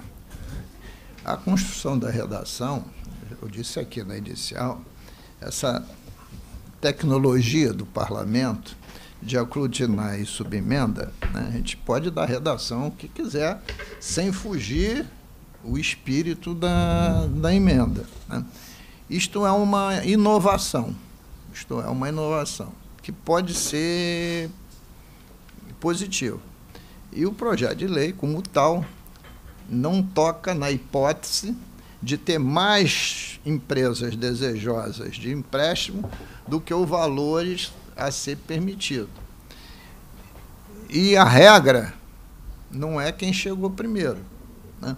porque podia ser a regra do protocolo. Né? Mas, evidentemente, se eu dou entrada num pedido de empréstimo sem as documentações necessárias, a segunda ou terceira vai passar à minha frente se tiver com a documentação necessária. Né? Eu, eu acho que tem um, a gente não, o projeto não examina isso. Né? Tem um desafio pela frente que seria exatamente aplicar a equidade no caso do volume de recursos disponibilizados ser menor, ser menor do que o desejo das mais diversas empresas. Eu acho que esse tema, estou aqui primeiro falando alto mereceria uma proposta de regulamentação que viesse do executivo. Eu acho o tema interessante, relevante, né? mas sei que não é. A gente tem uma opção de hipótese, mas a gente deveria enfrentá-lo. Né? Entendeu? Por favor, Priscila. É, deputado, é, esse desafio aí que o senhor mencionou, a gente também ficou quebrando a cabeça né, na nossa reunião prévia quanto ao tema, porque o, o governo do Estado também, né, inclusive é, esse projeto de lei que a gente está avaliando hoje, ele é um, processo, um projeto de iniciativa do governador, então uma mensagem, e o objetivo é justamente fomentar pequeno, médio, empre, empresário, enfim. E, e, acatamos a emenda da periferia, etc. Exato. Etc, né? é, o que, que como que a gente pensou em tentar equacionar essa busca pela equidade e a oportunização do crédito para quem mais precisa, né? É, conforme a Tatiana falou, não, não seria possível a gente ficar fazendo a reserva do recurso é, para esperar chegarem essas pessoas específicas que a lei, né, nessa redação de proposta de emenda, prevê. Mas o que a gente pode fazer, e aí é, acho que é dever, não é nem né, uma é, uma possibilidade, um dever do governo do Estado, é divulgar, é orientar, é explicitar o programa em si, né, dentro de todas as é, é, campanhas que o governo do Estado já desenvolve, por exemplo, através especialmente da Secretaria de Desenvolvimento, no interior do Estado, né, para aqueles setores e para aquelas regiões que efetivamente precisam, e levar o, a conhecimento deles a existência do programa a existência da, da, do dinheiro né, ali suscetível de, de ser tomado esse empréstimo, de modo a, inclusive, facilitar até o acesso deles ao pedido em si.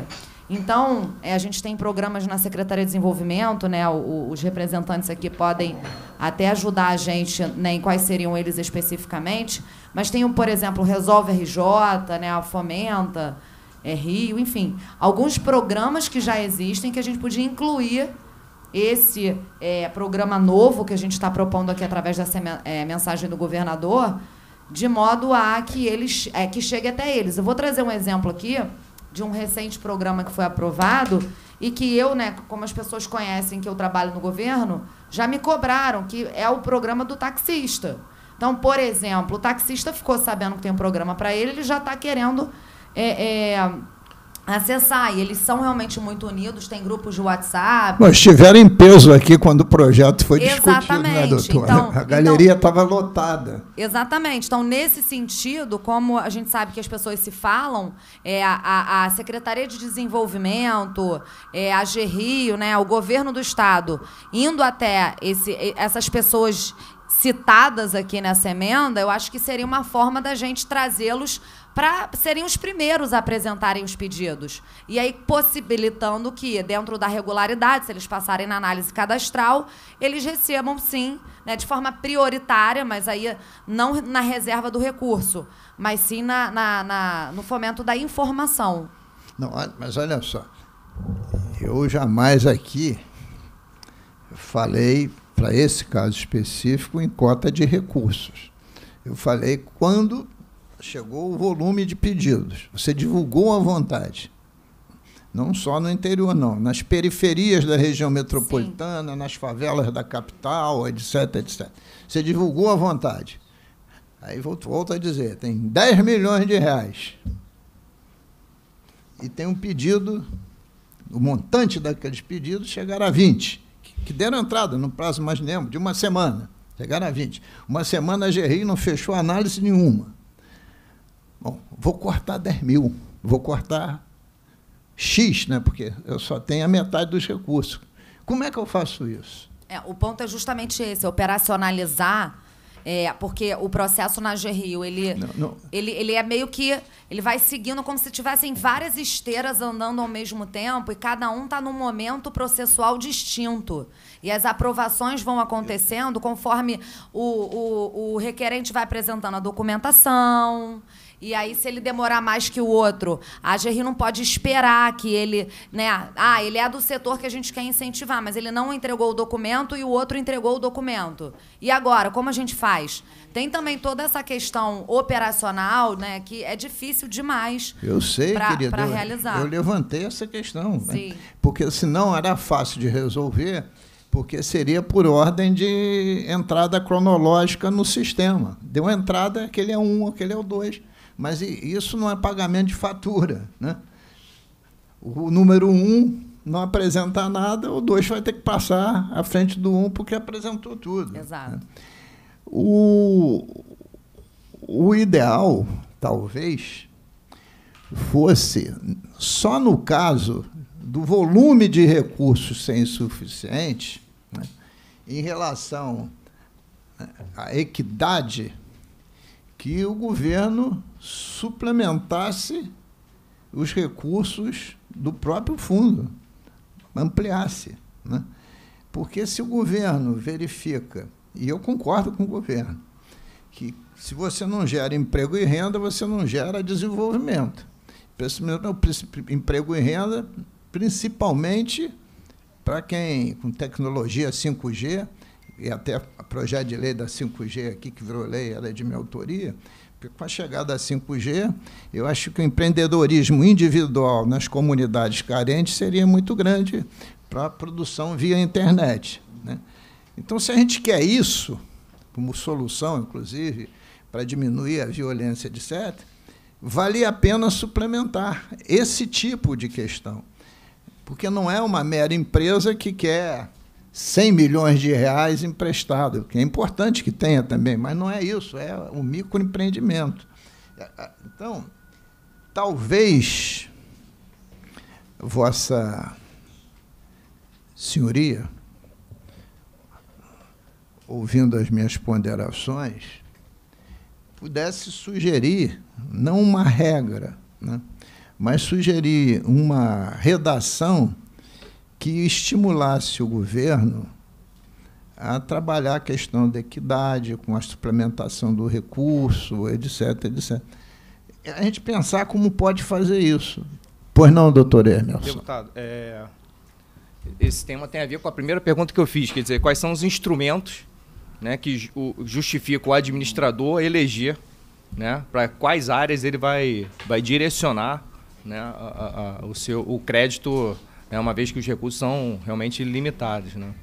E, e aí, não sei, uma sugestão, ao, ao, divulgar, quer dizer, o Poder Executivo, ao divulgar, e, e isso para a gente é, é, é, fundamental, né? porque a gente está falando aqui de princípio de isonomia, né? princípio de impessoalidade, Exato. moralidade né? né? né? na escolha. Né? Sim. É, e aí, pelo que eu entendi, os, os pedidos de financiamento, eles vão, né? É igual aquele regime PEPS da, da contabilidade, né? primeiro que entra, primeiro que sai eu não sei se vale a pena operacionalmente estabelecer um limite de tempo. Né? Ao divulgar os créditos disponíveis, quer dizer, os projetos vão dando entrada e vão sendo aprovados. Uma vez aprovados, aqueles que entraram naquele período, naquele interregno, aí sim sofreriam é, a, a, a, os critérios de escolha.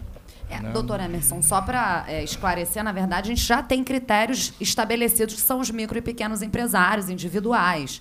Então, esse, essa régua né, de corte dentro da isonomia não pode chegar uma, uma SA, né, uma empresa com capital social que não, não esteja adequado a essa sociedade empresária, né, até o microempreendedor individual. Então, aqui é para o pequeno.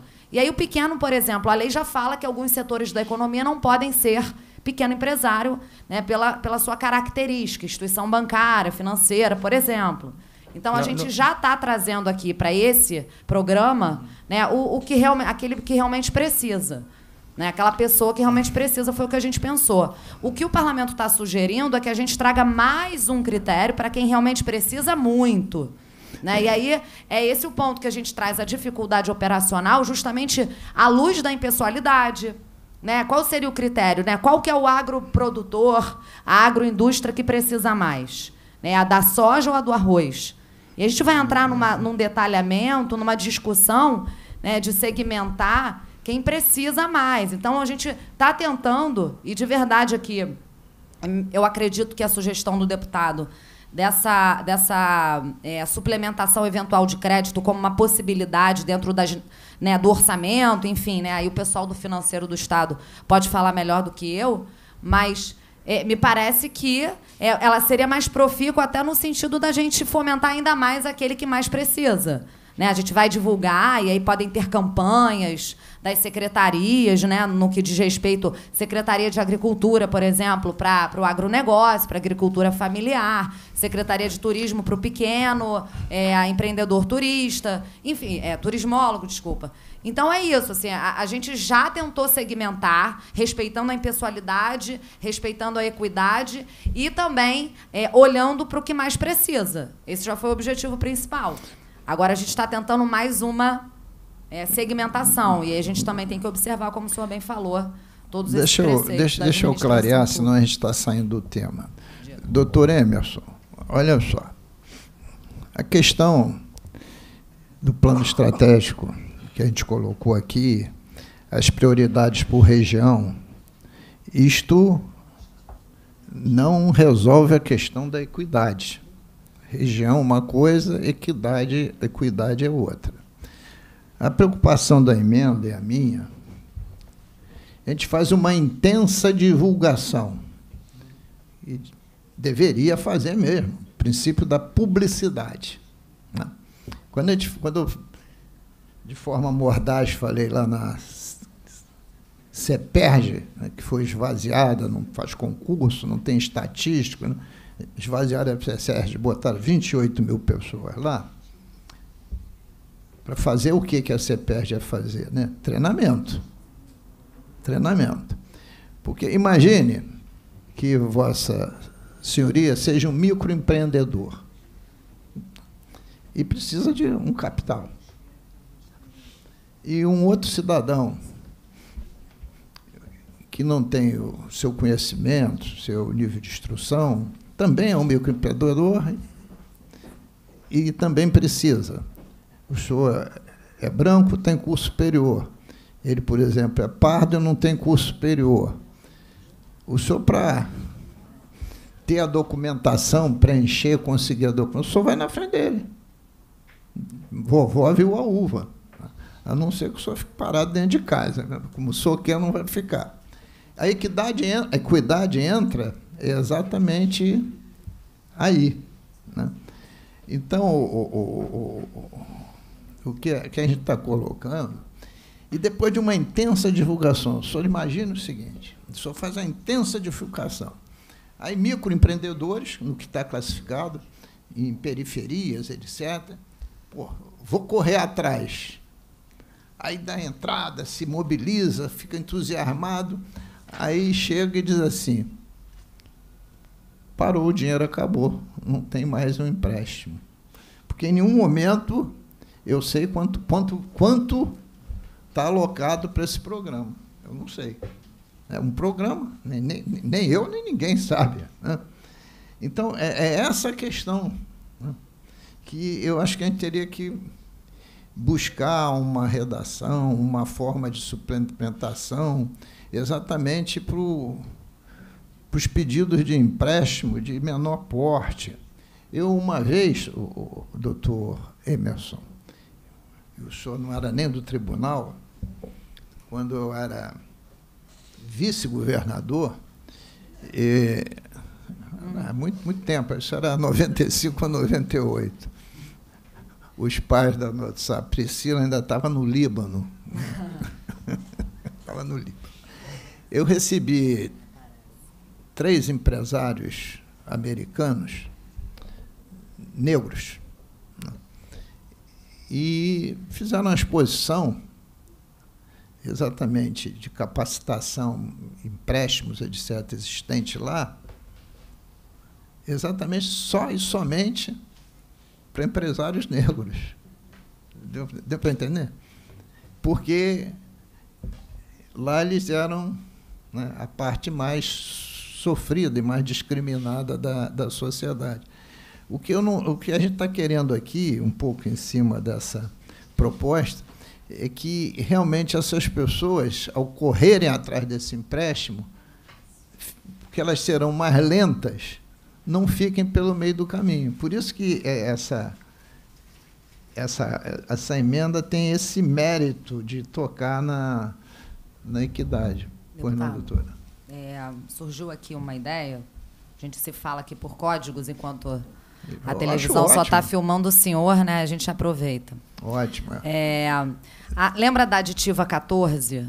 Que falava sobre a capacitação, Sim, formação. sim. Por que, que a gente não aglutina com essa e dali sai uma redação bacana dentro desse poder-dever de levar esse conhecimento ao micro e pequeno individual?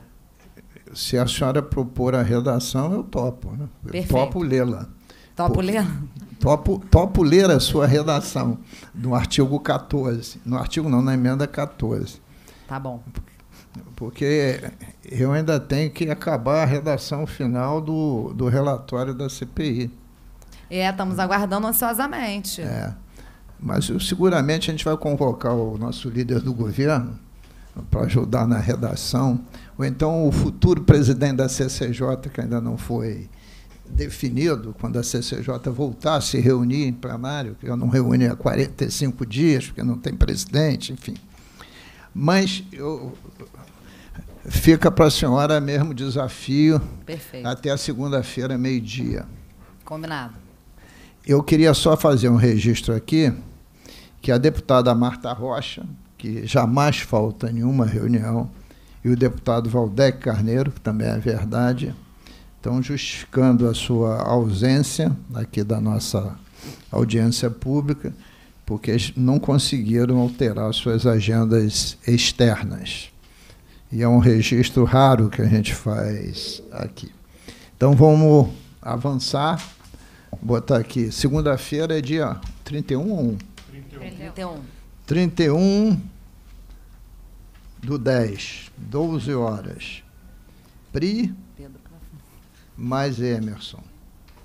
Não é isso, Emerson? Doutor Emerson, conta comigo aí nessa missão, tá? Qualquer coisa que precisar, a gente está agora na lista do deputado. Se, se quiser. O Emerson é obrigado lá do tribunal só. Dessa é se ele quiser. E eu? Você é obrigadíssimo. Ah, então tá bom. Bom, então falta só uma, que é exatamente que o Emerson já estava com a delegação, a emenda 17 do Eliomar Coelho, né?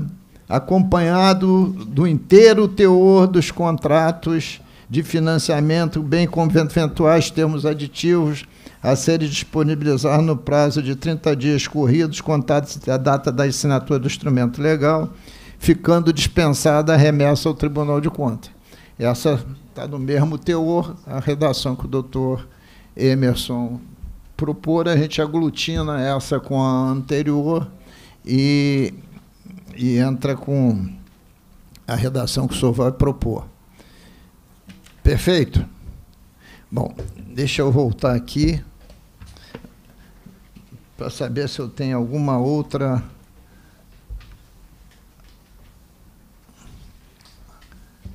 aprovação. Olha só, é, doutora Tatiana, no inciso 4 do artigo 1 garantias, 120% em modalidade a ser aprovada pela agência de fomento. Qual o conceito aí de modalidade? O que é essa modalidade? Bom, é, a GRIO atualmente ela trabalha com algumas modalidades de garantia. Então, a gente pode aceitar imóveis, a gente pode aceitar aplicações financeiras, a gente pode atuar eventualmente com um avalista, se for o caso. Então, são diversas modalidades possíveis de garantias dos instrumentos financeiros tradicionais. É, mas porque veja só, é, eu particularmente, quando eu leio, eu quero entender o que eu estou lendo, porque modalidade é uma palavra bastante vaga. Né? Eu não sei se poderia aqui, ô, Milena, explicitar que modalidades são essas que a senhora falou. Porque em modalidade, pô, mas o que, que é isso? Porque a, a lei é pro, também para o leigo. Né?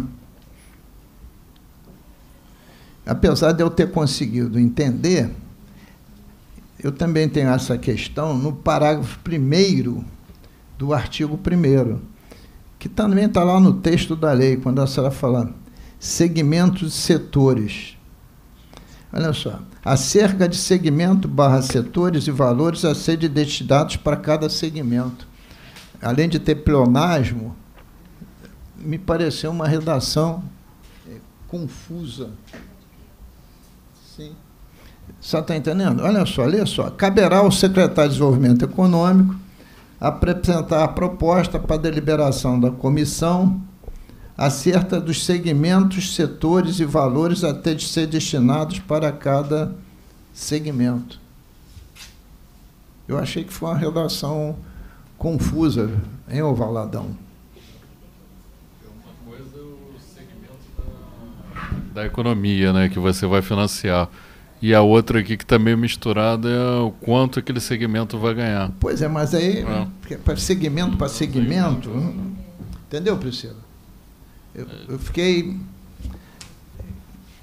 com, com, dúvida na redação. Acho que a redação podia ser, ser melhor.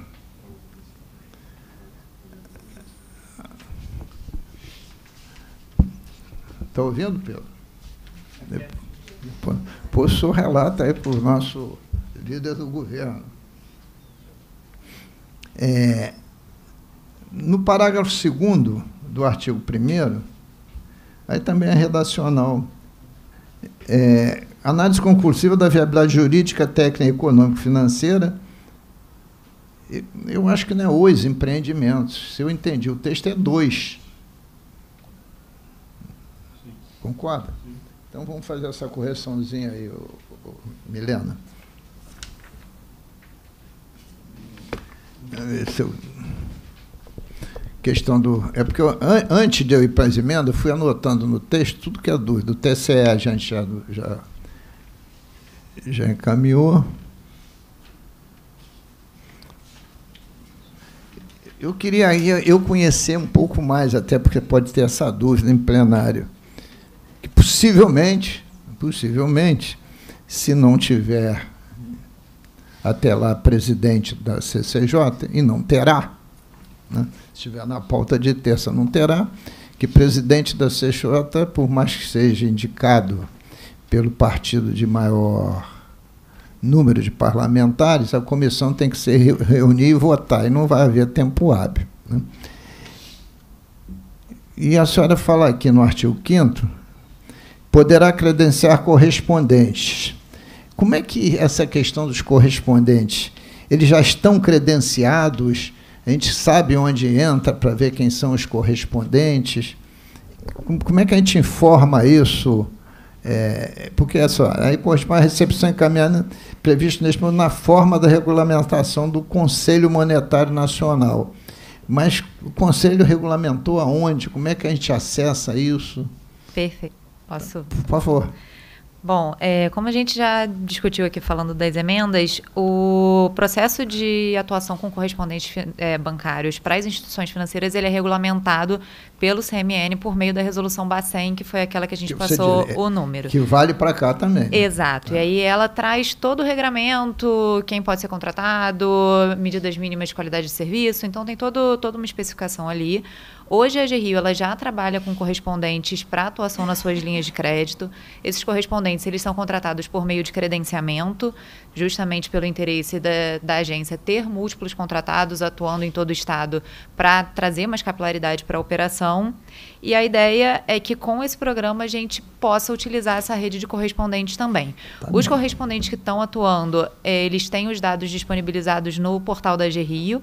Então ali o interessado ele tem como acessar quem são os correspondentes, credenciados, nome, telefone, CNPJ, tem ali justamente para saber quem são os agentes que têm essa autorização para atuar com a gente.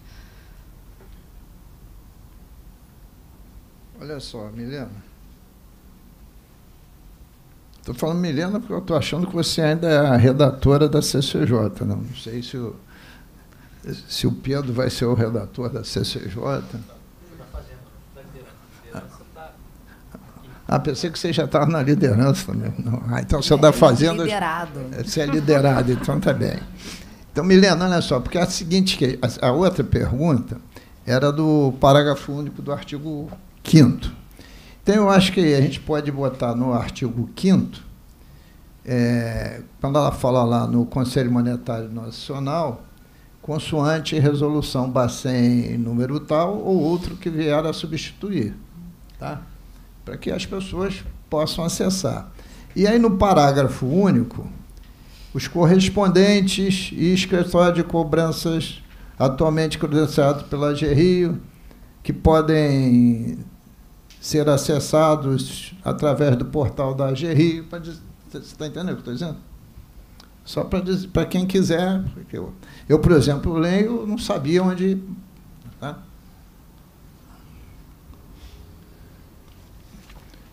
Bom, o, o artigo 8 a gente já trocou, que você saiu no momento, onde é ato do governador, Milena, é decreto. A gente acertou lá na emenda.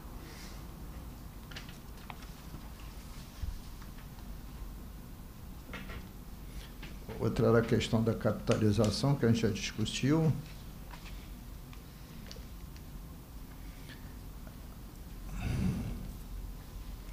Aí também é a questão daquela coisa do princípio da, da cabala. Artigo 11c, parágrafo 1 As garantias serão prestadas exclusivamente nos financiamentos em que o risco de crédito for da AGE Rio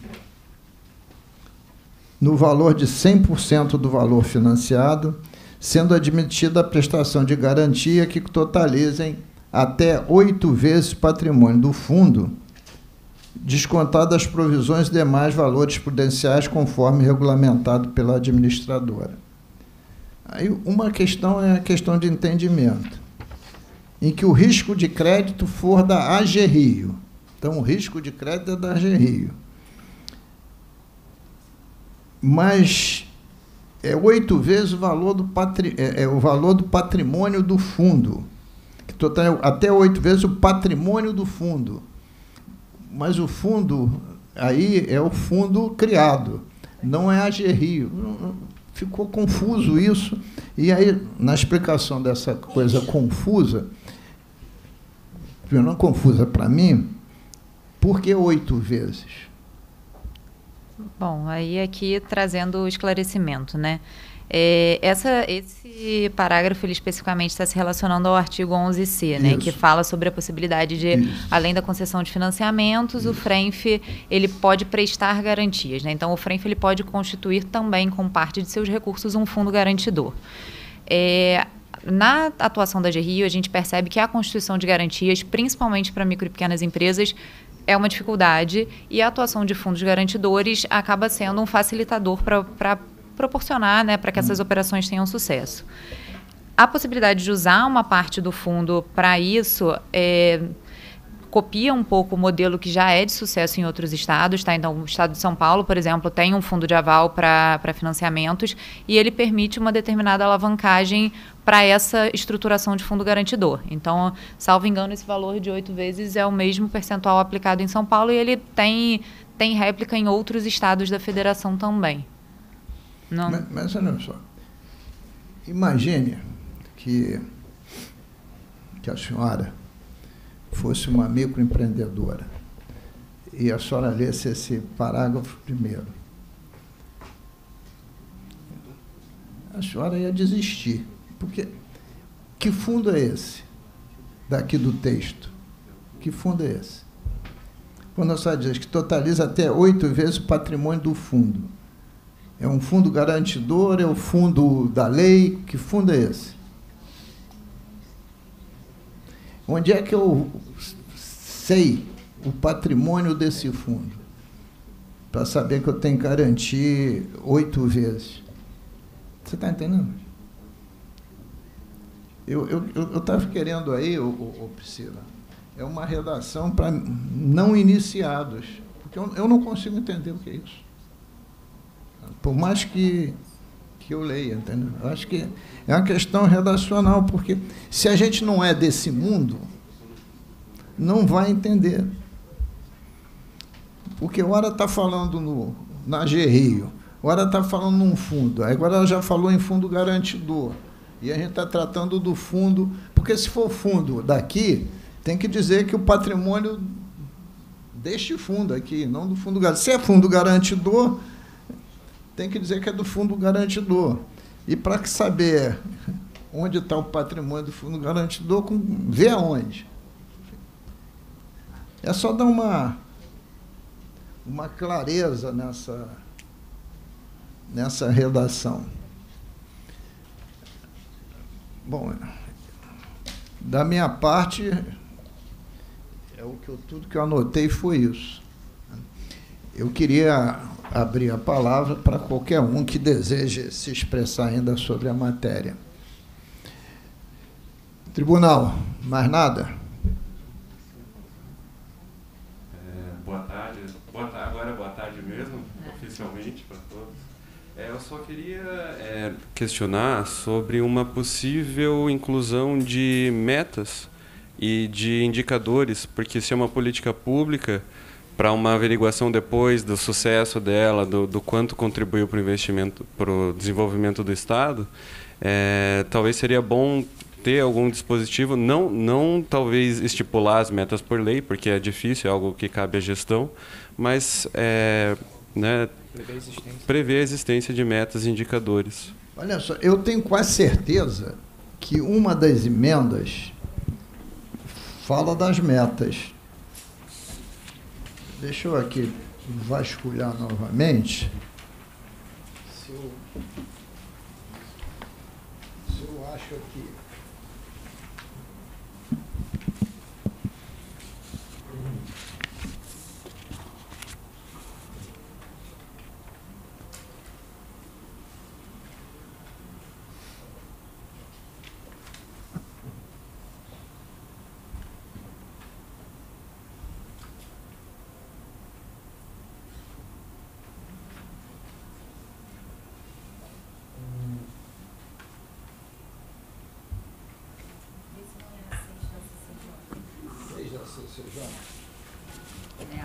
achei aqui a 6 da CCJ.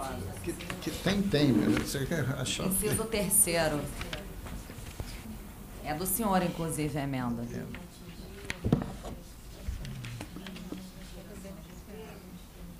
É. Está é, aqui, está aqui, ó. Está aqui na, na, na. A 6 da CCJ é o artigo 7, não é isso? Inciso 3 obriguem o beneficiário a atingir metas mínimas de geração de emprego nos termos do relatório apresentado pela AG Rio. O senhor quer sugerir uma redação melhor, doutor André?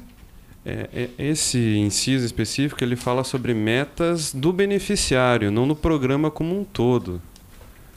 Não, obriga o beneficiário a atingir metas mínimas de geração de emprego. Quem vai estabelecer a meta é a AGE Rio.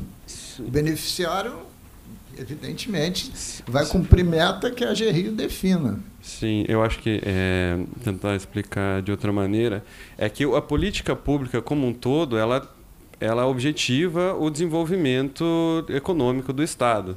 Mas essa política como um todo, ela não está com alguma meta. Tem que aumentar a, a, a, o emprego em X%, tem Onde se pretende tem, chegar? É, o que se pretende alcançar com essa política pública? Sim, sim, entenderam. Tanto é que a gente tentou traduzir as metas de emprego é, como essa emenda, porque metas de renda é mais difícil hum. ainda, né? porque o objetivo seria essa. O senhor me Oi. permite contribuir, então, já pois pegando o gancho da política pública e da meta, inclusive com relação à geração de emprego?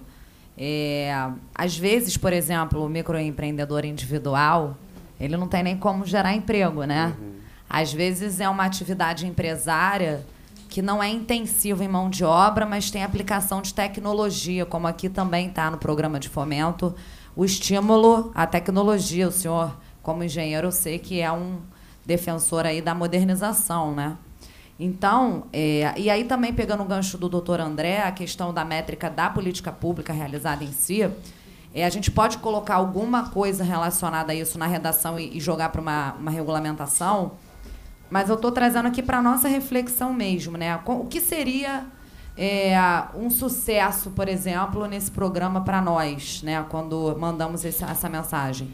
Seria evitar que, por exemplo, uma empresa fosse à falência, Será, eh, seria, por exemplo, o CNPJ recém-aberto na Juscerja de um microempreendedor é, ter mais tempo de vida do que a média brasileira, né? Empresas abrem e fecham porque não conseguem aí se sustentar. Então, a sustentabilidade financeira da empresa, é, a gente trazer alguns marcadores que fossem possíveis da gente mensurar dentro do, do que é sucesso de política pública e, por outro lado, a gente não amarrar essa responsabilidade no Estado do Rio de Janeiro, porque a gente não pode se responsabilizar pelo sucesso ou não do empreendedor né, do setor privado. Agora, a gente tratar o micro e o pequeno, né, entender o que, que ele pode alcançar com esse dinheiro, com esse recurso que ele recebe. E também acho que a gente precisava pensar. Né? Não é uma coisa que está me vindo assim à mente agora, uma ideia fechada sobre isso. Mas é, qual é o objetivo de um programa de fomento? Né? De emprestar dinheiro para alguém?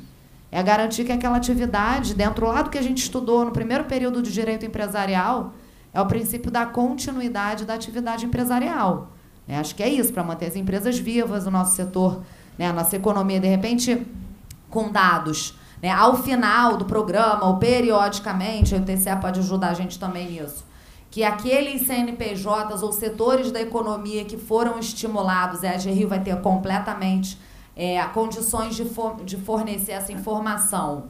Se esses segmentos, essas quinais, né, elas tiveram ali maiores é, número de abertura de CNPJ, número de geração de emprego como um, né, de CNPJs que não ficaram inativos, de repente regularidade fiscal, não sei, né, quantas gerações de, de negócios aqui, quantos negócios foram gerados com base né, naquela, naquele empréstimo. Talvez esses indicadores de que a política pública deu certo. Mas cá entre nós são indicadores muito complexos, né? a metodologia ali me parece que vai ter que ser bem elaborada, porque, é, afinal de contas, a gente vive numa economia de mercado e a gente pode emprestar o dinheiro e exigir que eles devolvam o dinheiro. Mas o que eles vão fazer com aquele dinheiro, a gente não pode, não, não tem ingerência, né? Isso que é um grande complicador, né, em paralelo com a ideia da política pública versus economia de mercado. Né? É, um, é um dificultador que eu acho que a gente pode construir juntos, mas não me parece que a gente está maduro ainda para escrever isso no projeto de lei.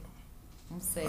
Olha só, eu ia sugerir que nesse, nessa redação da nossa emenda modificativa 8 da CCJ, que é o inciso terceiro do parágrafo único do artigo 2 a gente possa é, dizer o seguinte: redação grosseira aí para aperfeiçoar e debater.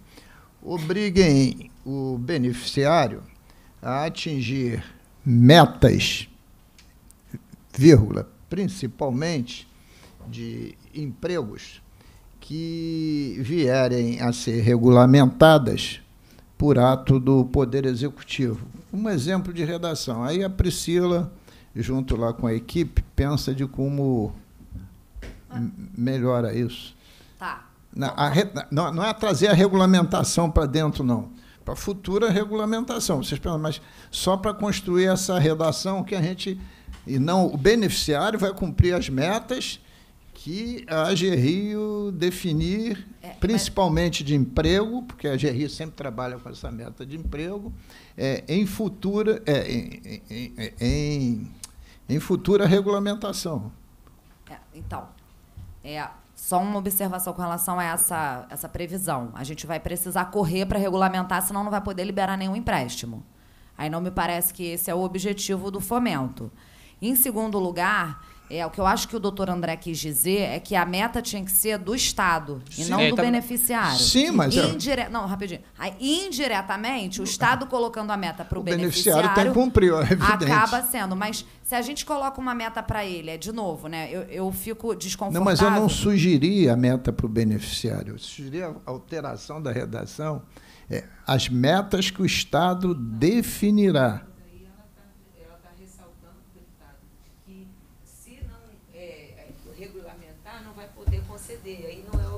De repente, não, mas, a gente pode. Só, mas se a gente vai, se a gente vai regulamentar, eh, não dá para regulamentar agora, né?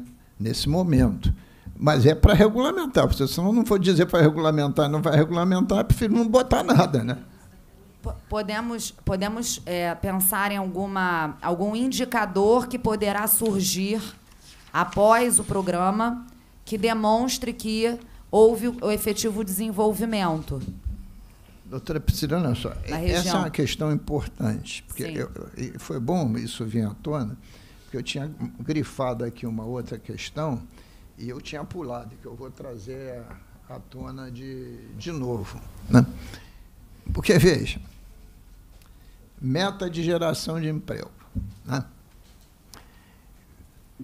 Você abre um shopping, não é o caso aqui, gera uma carrada de emprego. Imagine que você tem aí um empréstimo para esse shopping de 50 milhões de reais.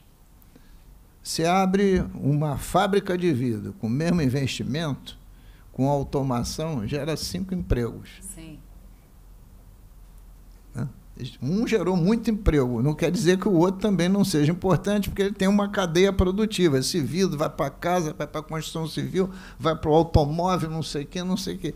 Então, a meta de emprego é um dos quesitos. Né? Deputado, por exemplo, na agricultura familiar não se gera nenhum emprego porque a família toda trabalha na roça e não é para gerar emprego, é para dar o sustento daquela família. E- e Esse que é o ponto da- da dificuldade. emprego, é, exatamente. É a dificuldade da métrica, né? Então, dentro Exatamente. desse contexto de desenvolvimentista, que acho que todo mundo aqui nessa sala está na mesma página com relação a isso, é, me parece que, é, a- é, não sei, Tatis, vocês conseguem enxergar alguma métrica que o Estado pode né, demonstrar para o órgão regulador e para o parlamento após esse fomento, né, que a gente possa identificar que foi um sucesso o programa?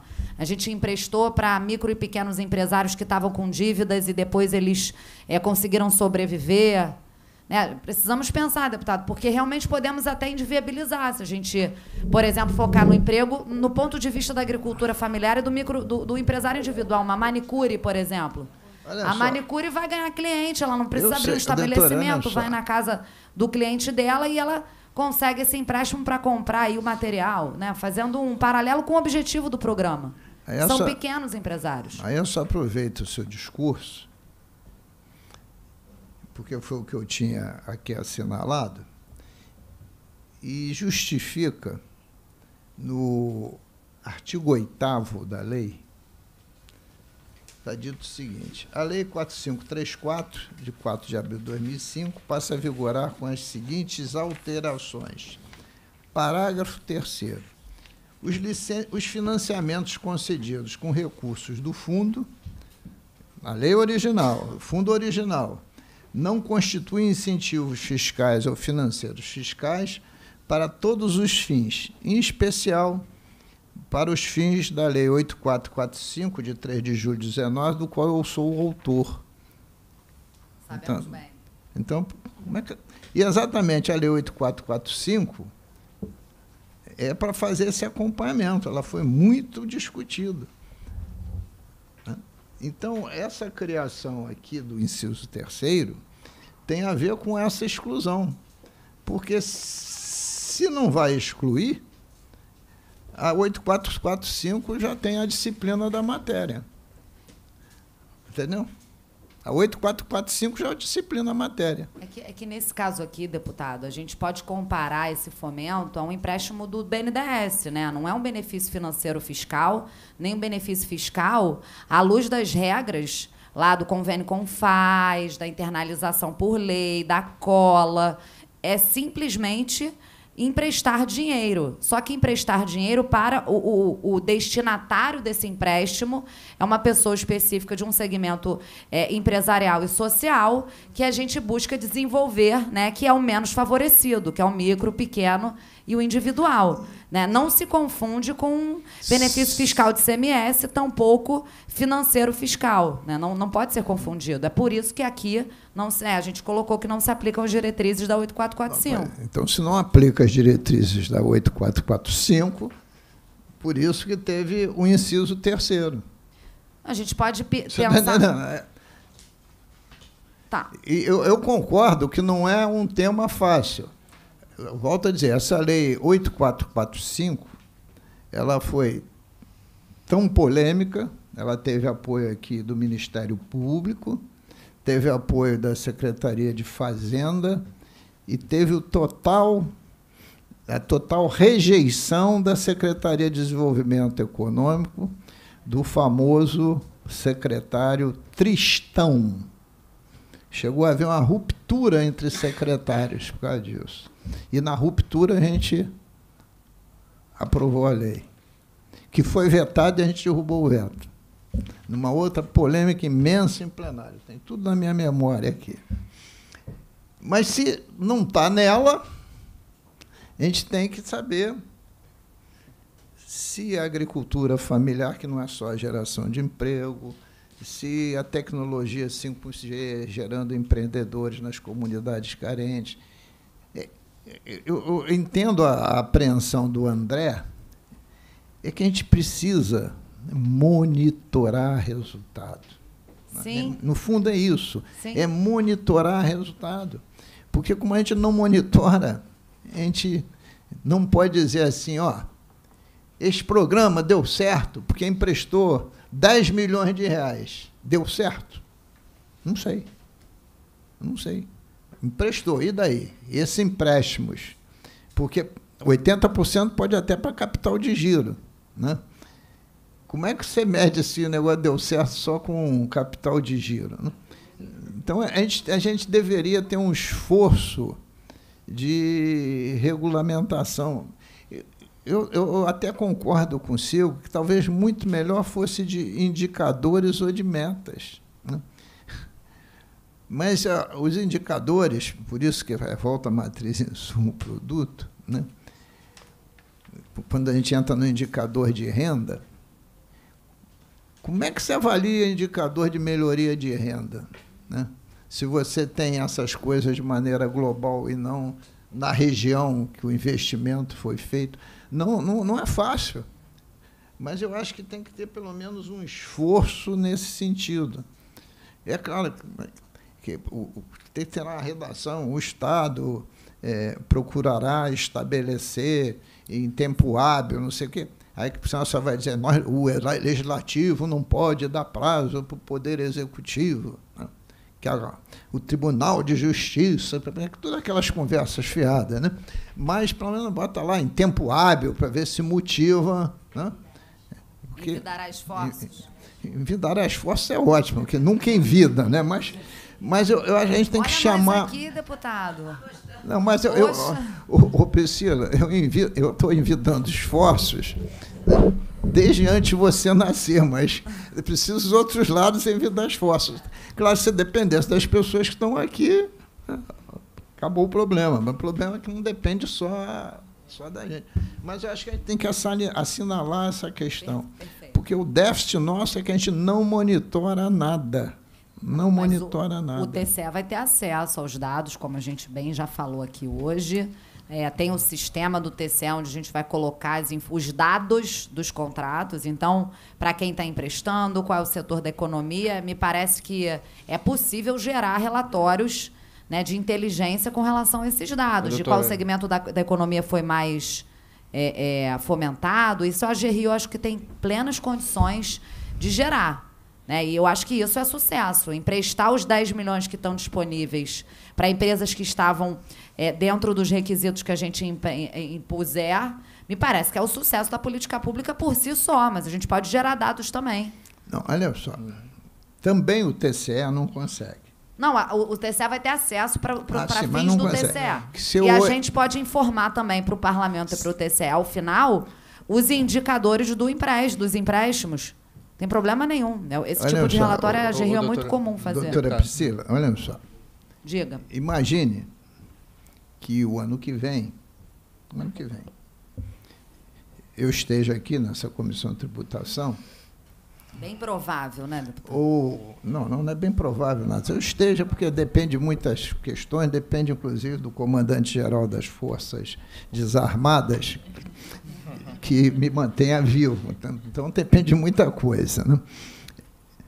E diga assim, em relação àquele programa da lei X, que eu não sei qual vai ser o número, a gente aprova um pedido do Tribunal de Contas para auditar o programa no sentido de que benefícios ele trouxe para a sociedade fluminense. Um, Como não tem critério nenhum, ele vai inventar os dele. Né? Dois, eu estou falando do ano que vem. Quando eu estiver encerrando o mandato, vai chegar o resultado da auditoria. Né? Então, o sentido, e também é um outro problema, o sentido da controladoria é, antes de ir para o tribunal, que é controle externo, o controle interno agir. Né? Aí, então, se não abre concurso para o controle interno, também acaba tudo na mão do controle externo. Então, o, o, é, é, é, o, o tema extrapola isso aqui, entendeu? mas é, o termo é pertinente, talvez colocando uma redação, usando a palavra monitoramento, né, como se fosse assim um alerta, o Poder Executivo eh, envidará esforços no sentido de apresentar formalmente, através de projeto de indicadores para este programa e outros similares possam ser monitorados, porque é isso que a gente está buscando. Né? Isso foi a preocupação aqui do, do doutor André. Eu não conheço, não, estou conhecendo o doutor André agora. Não, a gente não combinou nada, não. A gente não fez reunião prévia, não. Mais alguma questão a mais? É, mas talvez decorra da, da, mesma linguagem de controle externo, né? Titularidade de controle externo é do parlamento, o tribunal atua em auxílio. É, essa colocação do André é importante, doutora Priscila, porque a gente hoje faz é, estamos é, focados no, no, na auditoria, né, no controle por políticas públicas. Né? E é extremamente difícil fazer algum controle sem saber de onde partiu e onde queria chegar. Né? Quer dizer, são aquelas etapas da administração, planejamento, execução, controle e, novamente, planejamento. Então, para a gente é extremamente difícil. Né? E, e aqui, deputado, é ruim chamar o pessoal do, do Tribunal de Contas, porque a gente é sempre um, uma pedra no, no, sapato né, do administrador e a gente, obviamente, a gente não, não quer fazer esse papel, mas é no sentido realmente de contribuir. É, que sejam estabelecidas metas né, para o programa. E eu acho que a gente não pode confundir a meta daquele que recebe o crédito, qual é a meta individual que ele precisa atingir, tá? mas qual é a meta do programa, porque a gente, como tribunal, a gente vai olhar a política pública, né? E até que ponto o Estado tinha um recurso, queria fomentar uma área e qual o resultado que ele atingiu. Né? Então, é, é, é, o que o, o presidente falou, realmente, assim, se o programa não tem metas estabelecidas, a gente começa a entrar num campo né, é, é de areia movediça ali, porque a gente também não quer estabelecer, não cabe ao Tribunal de Contas estabelecer as metas, cabe ao Poder Executivo saber de onde está partindo e onde quer chegar. Então, é, é nesse sentido. O doutor Emerson, em 1962 a 64, eu fiz o curso técnico de estradas na antiga Escola Técnica Nacional. E lá tinha uma disciplina que era de organização de empresas. E nós tivemos que ler os documentos em pouco, era um curso técnico, de fora e FAIOL. E lá eu aprendi uma sigla que eu nunca mais esqueci. Era assim, POC, P-O-C-C. Eu decorei para o resto da vida. Planejar, organizar, comandar e controlar. E controlar. E, e eu estou falando de 62 a 4. Isso nasce lá na industrialização e, auto, e, e, da indústria automobilística americana. E é um pouco isso que a gente está querendo até hoje no Estado. Nada diferente do, do que isso. Aí, quando a gente está aqui há quatro anos falando em matriz, insumo, produto, banco de dados, planejamento, é para chegar a essa fase.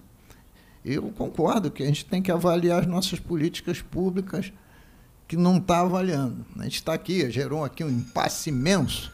Foi duas audiências públicas, duas reuniões conjuntas da Comissão de Tributação e Orçamento, para tentar estabelecer um critério de aplicar as cotas parte do ICMS do município em no mínimo 10% em educação. Né? Mas tem que ter critérios para distribuir e depois tem que saber se esses resultados foram positivos para os municípios receberem do Rio de Janeiro lá os seus 160 milhões de reais do, do Fundef, do Fundep, desculpe. Fundef é o, original, Fundep, que é lá na emenda constitucional 108. Então, as próprias legislações vão sendo criadas encaminhando nesse sentido. Né? Porque o que, que, que quer? Investir mais no município, mas ter indicadores para medir desempenho. Melhorou. Né? A gente aí discutiu lá seis caixinhas. Uma que eu não abro mão é você ter educação em tempo integral. Né? Enfim, tem muitas outras. Mas estou dizendo que, no fundo, no fundo, é a mesma coisa. A gente tentar caminhar nessa direção. Né? Porque aí os senhores poderão, de fato, com as coisas mais bem definidas, avaliar melhor se aquelas políticas públicas deram certo ou não. Se der certo, ela é exitosa, vamos continuar e melhorar. Se não deu certo, vamos mudar de assunto. Né? Aliás, falar em mudar de assunto, deputado, ou deputada não, deputada é no futuro, doutora Priscila. É, a não ser que eu tenha me enganado, ontem eu discuti os, a revisão do PPA. E comparamos o PPA atual, a revisão para 2023, com o PPA anterior 2023. E eu observei, posso ter me enganado, que esse programa que a senhora acabou de relatar para 2023 foi para casa, o Resolve. Depois a senhora me informa se é verdade. Foi para casa? É, foi para casa, foi cortado, mandaram ele embora no, na revisão do PPA. Só ver lá com, comparado com, com a LDO aí, que está evidentemente comparando com o PPA anterior também. É porque a senhora encheu. Deve ter, deve ter foi, a senhora foi robusta, encheu o peito. O programa resolve. Eu, eu verifiquei que ele foi para casa, foi aposentado. Vou dar uma olhada. sem ter tempo de serviço prestado ainda. Ele foi aglutinado com outro programa também, com certeza, deputado. É possível que foi, tenha sido aglutinado, mas foi para casa. Na hora que aglutinou, ele acabou. Não, eu fiquei curioso, porque eu posso ter, podemos ter cochilado na nossa análise. E quem fez isso, em tese, doutora Lília, foi o planejamento. Porque o planejamento criou um sofisticado sistema que a gente concorda das metas é, ambientais. Mas ela teve que encaixar nessas metas ambientais tudo aquilo que estava acontecendo, não podia inventar mais nada, né? porque é uma revisão de, de PPA, não é um PPA novo.